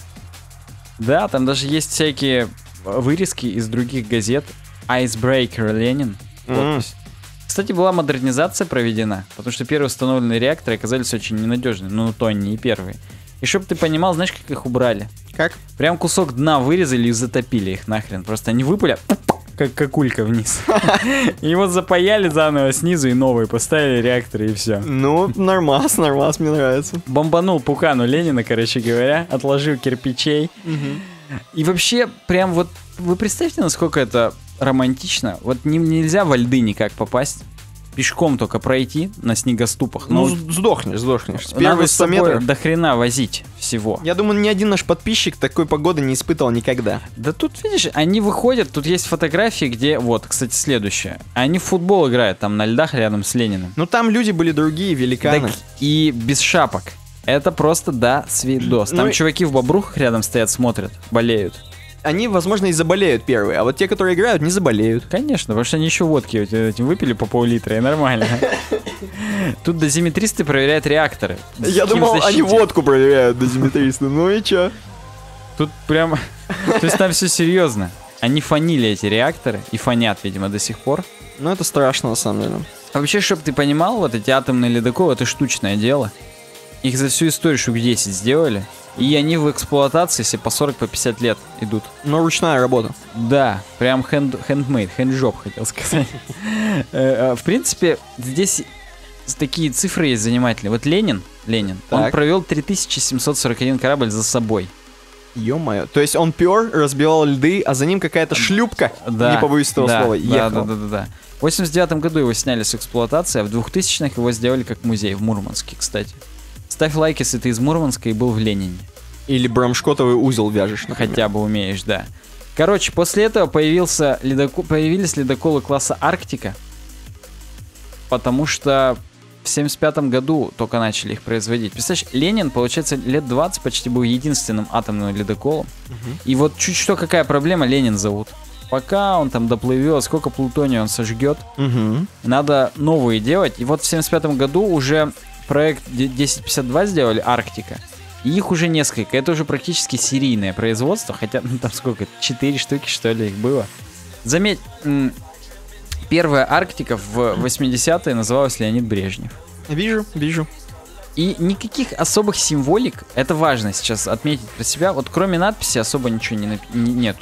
Слушай, минимализм такой подкупает. Даже серпа и молота нет. Хотя, стоп, вижу на... Посмотри на передке, так скажем. Хотя нет, это как будто даже и часы. Ну, круг такой, так скажем, на прям на... Ну, что тебе Я вижу, я вижу, сказать? да. Что-то такое там есть? Я, знаешь что, вот эта надпись почему подкупает, да? Почему? Кажется, что как будто это даже не то, что э, какая-то там проба, как на кольце. Это как в книгах выдавленные буквы, которые все ты не сотрешь. Вот Мгм. прям Ленин, Арктика. Согласен. Здесь прям вот атом в сердце Арктики. Есть такие плакаты, и там про то, как реакторы работают. Представляешь, какая тяга вообще? Это же... Это завораживает. Мгм. Ну, кроме того, что есть атомные подлодки, но я всегда думал, что атомные подлодки, они называются не потому, что там атомный реактор тянет, а потому что там атомные ракеты есть. А оказывается, потому что это все-таки двигатель тянет. А, ты имеешь в виду, ты-то думал, что как в Варкрафте втором черепахе? Да, и, и просто у них боеголовки ядерные. А так-то че... Ну окей. Так-то да. Кстати, здесь прямо расписано, что выбирают путь не кратчайший напрямую, а есть прям как у Хана Соло была карта астероидов, Здесь карты льдов, где потоньше, где потолще, как смещается, и исходя из этого путь выбирали, чтобы попроще он был. Марки даже выпускали, Я вот хотел тоже остановиться, это охренеть, чё. красиво так сделано. Причем, заметь, марка, Мгм. она сама выпускалась на таком, На листе. на подарочном боксе практически. Мгм. То есть сама марка, она по центру, а вокруг еще СССРский флаг и подпись «Ледокол, «Ледовый поход Арктика к Северному полюсу в честь 60-летия Великого Октября». Но на самом деле меня поч- почему подкупает, у меня какие-то струны души детства за- задевают, потому что у меня батя собирал марки. Я Да, у меня часто... тоже и мама, и батя, да. Да, я часто открывал вот этот альбомчик и прям смотрел, реально, мелкий, пересматривал. Мне как-то это казалось, что это прям реально раритет, прям круть. Это реально раритет, как бы. Ну вот да. В 2008 Арктика был выведен в эксплуатацию, уже морально устарел. Мгм. И да, я прям пробегусь. По этому же проекту 1052 был еще введен в эксплуатацию Сибирь, Мгм. Россия. Мгм. Причем Россия уже немножечко измененная, 1052.1. Так. Ну, собственно, по виду даже видно, что он чуть другой. И на России еще, опять же, нету никаких опознавательных дополнительных знаков, но на ней уже начали более явно размещать вооружение. В принципе, на всех тех была возможность сразу хоп переоборудовать в военные. Мгм. Кстати, так и не пришлось, но тем не менее. А вот на России уже более явно это все сделано, потому что он введен в эксплуатацию в 85-м, уже холодная война по полной идет. Мгм. Да какая? Она, она, в принципе, всегда шла, но там она прям разгоралась уже. И был еще РЛС фрегат. Так. А, стоп, это, это, это ракета лодочная система, может быть. Ну, короче, это про вооружение. Советский Союз еще был. Ямал. И все, Ямал это был последний из 1052. У него уже начали зубы рисовать. Смотри. Ну, это все, это уже как бы... Уже агрессивно немножечко Мгм. сделали. И у него уже значок атома был. На... Не на корме, на Ну, борту. Прокачали тачку, на самом деле. Прямо Согласен, аэрография. Да, и на 50 лет победы выпустили самый молодой из ледоколов класса Арктика. Всего лишь в 2007 году был введен в эксплуатацию, верните мой 2007, хотя еще в 93-м, в принципе, он был спущен на воду, но в 90-е, видимо, не хватало на Плутоне денег, и вот в строй ввели только в 2007 На данный момент чуваки из Росатома, они, во-первых, учредили Росатомфлот, и уже везде это написали больше, чем название, неприятно как-то мне это все. Они поняли, что Арктику-то пора проект как-то это откладывать Так. и сделать другой немножечко проект. Я знаешь, что сейчас вспомнил? По Ну? бреду. Короче, у меня мама иногда смотрит э, по каналу Детектив. Там есть такой сериал «Ментовские войны». Ну, Вот. И в этом сериале, слушай, главный, как же главного героя зовут? Э, блин, сейчас хотел вспомнить. У него какая-то фамилия типа Шилов. Во, Шилов. Если я сейчас не вру, возможно, с- фанаты ментовских войн спалитесь, плес. И, короче, суть-то какая? Он там, когда ему, его выручают из каких-то ситуаций, вышепоставленные чуваки, а у него там есть вот такая, короче, знакомые чуваки крутые. так. И там, чтобы ты понимал, как изображать, ему звонит чувак, во-первых, нам показывает, что он там какой-то на Land Rover, на чем-то такой лы- лысый старый чувак, толстенький, ну видно, солидный. И он выходит, и он выходит, и сзади него просто корабли по ледоколам стоят. И там видно, что уже какие-то генералы его спасают. Он просто звонит одним звонком, э, Шилова освободить. И вот, вот, видишь что? То есть, практически, а, возможно, такие люди и заведуют сейчас э, ледоколами. Ну да, да, нормальная такая история у тебя приключилась. В 2013 50 лет победы это улучшенный 1052 на 10 метров или насколько-то там длиннее. Да. Он даже Олимпийский огонь сочевский довез на Северный полюс. Чтобы прям эпично это все было. Не затушил. Не, не затушил, там газ же внутри. Их тем более меняют там каждый раз. Ну, короче, там система нормальная. Угу. Ледоколы класса Таймыр еще сделали. Это как раз те, которые нам финны делают. Они чуть-чуть поменьше, Мгм. они в реки могут входить уже. Потому что вот эти здоровые Арктики, они никуда не войдут. Там охренеть, там дома целые. На... Там прям, там написано чуть не несколько десятиэтажных домов там по квартирам можно расположить. Мгм, мгм. Так вот, их несколько этих ввели. Сделали еще лихтеровозы, это уже вообще легонькие. Мгм. Ну, они в основном будут за ледоколами и ходить. Дизельные бывают и так далее. Но самое главное, это новая Арктика и новые планы. Уже надо отодвигаться от советского наследия, даже не просто, как бы сказать, Ну, Потому видимо, что надо. обновить надо. обновить. да, проект 22-22-0. Мгм. Откуда они эти цифры берут, понятия не имею. Но вообще, с учетом того, что его ожидают только в 2000... Бородатом? Я скажу, в каком? Ну, видимо, в 2020 раз 22, 22, В 2025. Отлично, нормально. Так вот, и он будет супер крутым вообще. Назовут, кстати, тоже Арктика первый. Отлично, Потому что рестайлинг. он, да, наследником Арктики будет являться. И корпус уже был в этом году спущен на воду. То есть, в принципе, работы ведутся. И тут уже, чтобы ты понимал, концептные фотографии, они уже полностью в российском флаге. Я вижу, я вижу. Не то чтобы пошло выглядело, но как-то так. Ну, немножко... Он еще такой какой-то дутый, Мгм. кругленький, уже не так хищно это все выглядит. Видишь, в чем дело? Возможно, возможно, это вся вот эта понт, а мы это понтом назовем, э, это вся мишура, она пока что прототайпе все. А потом это все уберут, И будет все хищное, агрессивное и до свидос. Да, Согласен. да. Будем только на это и надеяться. а мы хотим хищное и агрессивное, как наш подкаст. Потому что у меня вот от вот этого концепта няня-няшного, у меня шишка вообще не пристает. Согласен. Хочется, чтобы ракеты летели в бой. Да, да. Потому что, видишь, много всяких... Там дальше вообще до свидос. Можешь посмотреть еще более Да, там много концептов, опять же, каких-то смоделированных. перспективный супер ледокол, потому что.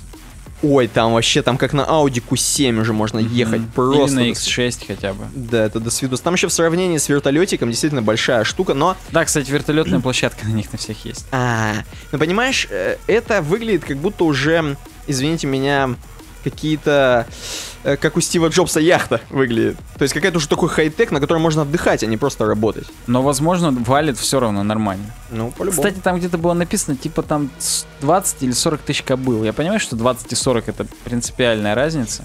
Но вот не готов вам сейчас точно ответить, скроллить вот это все резко все делать. Но валит нормально так. Почему нам Mail.ru Group, интересно, об этом рассказали? Хрен его знает. Возможно, им Росатом флот лично занес. Да. Усманова сам. Вот такая история из научпопа. А у нас э, еще, по-моему, тема в научпопе. Или да, у нас небольшая быстрая темка для У тех, нас кто... потом пики еще, но мы прям по, по, по волнам сейчас. Да, конечно, конечно. сейчас, на самом деле, очень развлекательная темка для пацанов, которые у нас увлекаются всяким. Э, так, у меня открылось, да, у меня открывается вроде как. И тема у нас звучит как «Мозг и марихуана». Вот так, незамысловато абсолютно. Сейчас, сейчас я просто найду тот самый, да, спикабу. Неожиданно. И там эм, пацаны с Пикабу, они что делают? Они как бы сами ничего не пишут, они просто с э, Nature, nature.com, практически перевели, практически взяли текстуху про то, что в последнем номере Nature в одном исследовании соединились аж три горячие темы. А именно, как разовое употребление каннабиоидов, кам- каннабиноидов, разочек правильно прочитать и нормально пойдет, каннабиноидов влияет на, мех- на митохондрии в нейронах. У тебя как на митохондрии, кстати, Сань, нормально? Поживают себе, Поживают. дышат, пукают опять же. Объясняем, почему это важно знать и почему эти темы в тренде нейробиологии. Между прочим, Nature это вообще один из топовых научных журналов в мире, чтобы ты понимал. То есть- Круче Scientific American. Это прям вообще топ он топ. Мгм.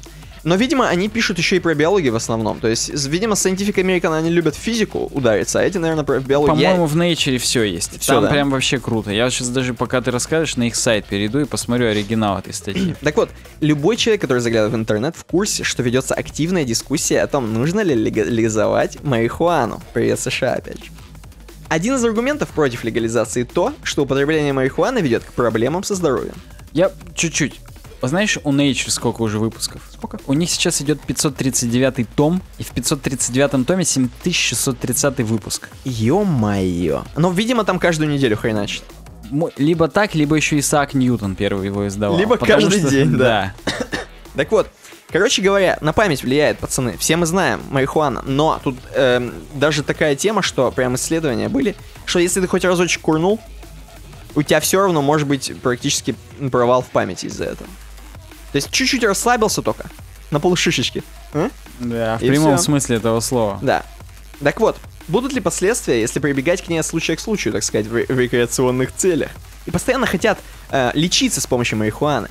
И вот Мгм. нынешние исследования показывают, что даже однократное употребление э, приводит к откровенной потере памяти. Это плохие новости, прежде всего потому, что каннабиноиды имеют большой потенциал для использования в качестве лекарства. Мгм. Хорошие новости в том, что авторы накурились, видимо. Авторы исследования раскрутили механизм того, как каннабиноиды влияют на нейроны что в перспективе поможет создавать препараты с минимумом побочных действий. В общем, они раскусили, они как атом расщепили марихуану. Перед этим, видимо, пришлось ему потребить ее. И спокойно теперь знают, что куда втыкать, и, возможно, с минимальным риском сделают такую муть на вам набодяжит, что будет нормас. И глаукома пройдет, как рукой снимет. Да уж. Я дальше не буду, просто, ну, здесь, э, в общем, много всяких прикольчиков. Точнее, на самом деле, мало. Поэтому, вы понимаете, марихуана, вот, вот такое интересное исследование. Идем дальше. Следующая тема из тем слушателей.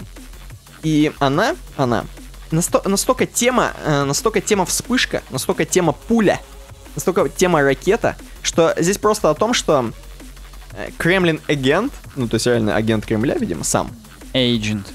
Да, он, короче, что делает? У него ссылка, во-первых, на hillaryclinton.com, чтобы нам легче было. И он пишет. Привет, ребят. Извините. Я коротко. Помню, вы обсуждали лого Хиллари. А знаете, почему она проиграла, а? Не потому, что я там вот рассказывал долгую хрень про Cambridge Analytic у. Нет, версия. Ее лого это символ logout. Ну вы поняли, UI и UX имеют значение. И мы переходим реально на Кремлин. Ты, видимо, перешел Мгм. на Кремлин Agent, я хотел сказать, на hillaryclinton.com. Тут сразу тетенька вещает, что как все плохо или как все хорошо, если бы Клинтон была. И слушай, слушай, слушай, действительно у нее иконка похожа на логаут. Мы с тобой задумались, когда выбирали тему. Да, буква H это как будто бы дверь и типа выход из двери. В натуре логаут полный. Так что вот логаутнулась э, Америка немножко.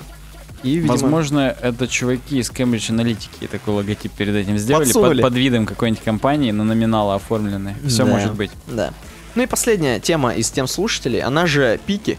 Нас спросили, просто для тех, кто вновь подключился, говорить о своих пикс, то есть о своих каких-то, видимо, мимолетных увлечениях на неделе.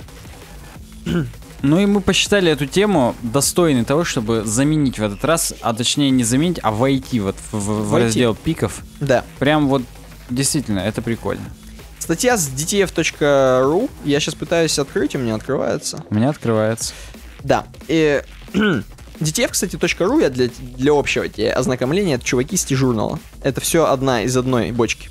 Я по стилю вижу. Да. Хотел как бы тебя спросить потом в кулуарах, но ты мне Но тут я вам в будуарах сказал. отвечаю. Пользователи Reddit, один пользователь.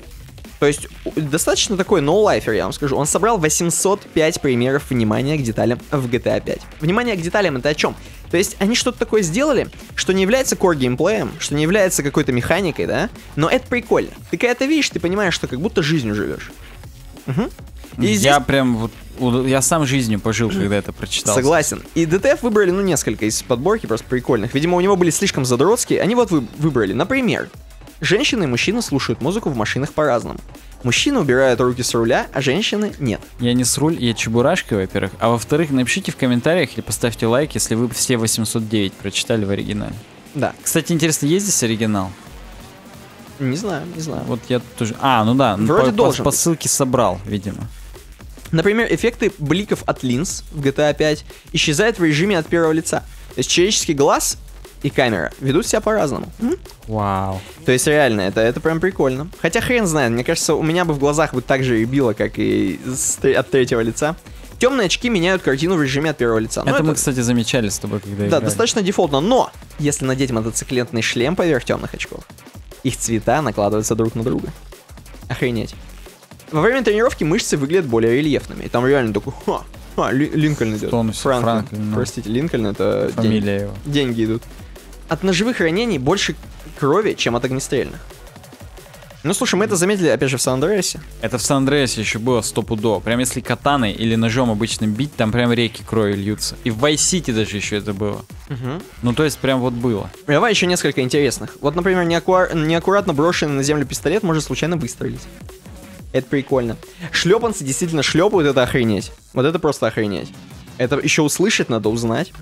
Э, как упал, тоже влияет. Я что-то уже каждую читаю, хотя не каждая классная. Я поэтому мы GTA 5 настолько пережили на своей шкуре, что каждая классная. Смотрите на VD Games, наши стримы и летсплеи до этого GTA 5, там круто. Да, пожарные, если им далеко подъехать на машине, паркануться, они выбегают. И, в общем, там... эм, если... GPS пропадает в туннелях, тоже замечали. Да. Не знаю насчет было где-то раньше или нет, но да, замечали. Э, естественно, электромобили не взрываются, потому что Это мы тоже пробовали, да. Лопасти вертолета могут убивать птиц, это вообще Это святос. самое крутое. Каждый наркотик искажает картинку по-своему. Я даже не знал, что в GTA 5 несколько видов наркотиков. Да. Я думал, там только упороться. Ну там, вот там бухло просто еще есть. Вон типа Франклин бухает. Да. Даже есть такие мелочи, как разбрызгиватели на спортивных аренах отличаются от тех, что используются на обычных газонах. Ну, короче, охренеть. Мне очень понравилась тема про то, что по ночам владельцы уличных ларьков сворачивают товар. Я, когда это замечал, а я замечал, я почему-то подумал прям, ну, типа, ну да, а чё нет То есть, как бы, я уже как данность это воспринял. Возможно, это плохо. Не знаю, для меня это все еще кажется, мне кажется, все застыть должно, и они так и ходят ночью, там что-то делают. В общем, почитайте, посмотрите, здесь достаточно интересно, прикольно. Просто в первой и второй готиках еще была система, где они именно по часам меняли деятельность, и там у них просто расписано, можно было даже в кодах посмотреть, что вот этот с 10 до 7 точит меч, а с 7 до 8 идет и около костра сидит базарит. Мечет точь. Да. Ну давай немножко о пиках и будем к темке, к бойке под- подгружаться.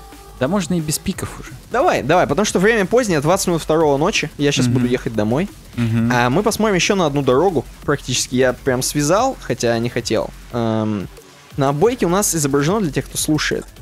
Опять как обычно, сансплэша мы берем. Я, слушай, не могу доскроллить, мне придется зайти в наши shared media и зайти в фотос. Ну ты можешь перевалиться еще через ноутбук. Не, я зайду, я хочу своими глазами наблюдать. Слушай, а почему у нас это было так давно? Или там уже ты про Джуни покидал и про... Во, нашел. Короче, чтобы вы понимали, город туманный такой, Альбион. Дорога. Я думаю, Нью-Йорк даже. Да, наверное. Э, Дорога немного такая помоченная дождем. Мгм. И дорог несколько, много дорог. И давай будем бред нести, я, по крайней мере, начну, а ты скажешь, как это действительно на самом деле ты видишь. Я вот думаю, что наш подкаст это вот джип, который едет, Я тоже хотел сказать. Видимо, не такой это и бред. и он едет э, в правильном направлении, я вам скажу. И все, кто хочет, едут за ним, как за ледоколом. Согласен. Хотя... Ты посмотри, сколько дорог есть, а едут все за джипом. А хотя никого почему больше нет? нет. Там справа тоже едут. Блин, черт, кто-то вот... я не так скажу. Вот видишь, экзит, где написано, Так, это съезд. Мгм. И вот наш подкаст это не съезд. Это главная дорога. согласен. И по ней и надо ехать всем нашим подписчикам. И кроме этого, подписываться на соцсетях ВКонтакте, в Твиттере, в Фейсбуке, в Инстаграме, в Гугл Плюсе. Мгм. На Ютубе ставить пальцы вверх, рассказывать друзьям, обязательно просматривать. На iTunes ставить звездочки, писать отзывы. Мгм. На сайте донатить, предлагать темы. А также не забывайте, что у нас теперь можно приобрести стикеры UV Design и UVD Games. Да, всем пока. Всем удачного дня, через неделю точнее даже. Всем всего удачного, короче, через неделю увидимся. Пока.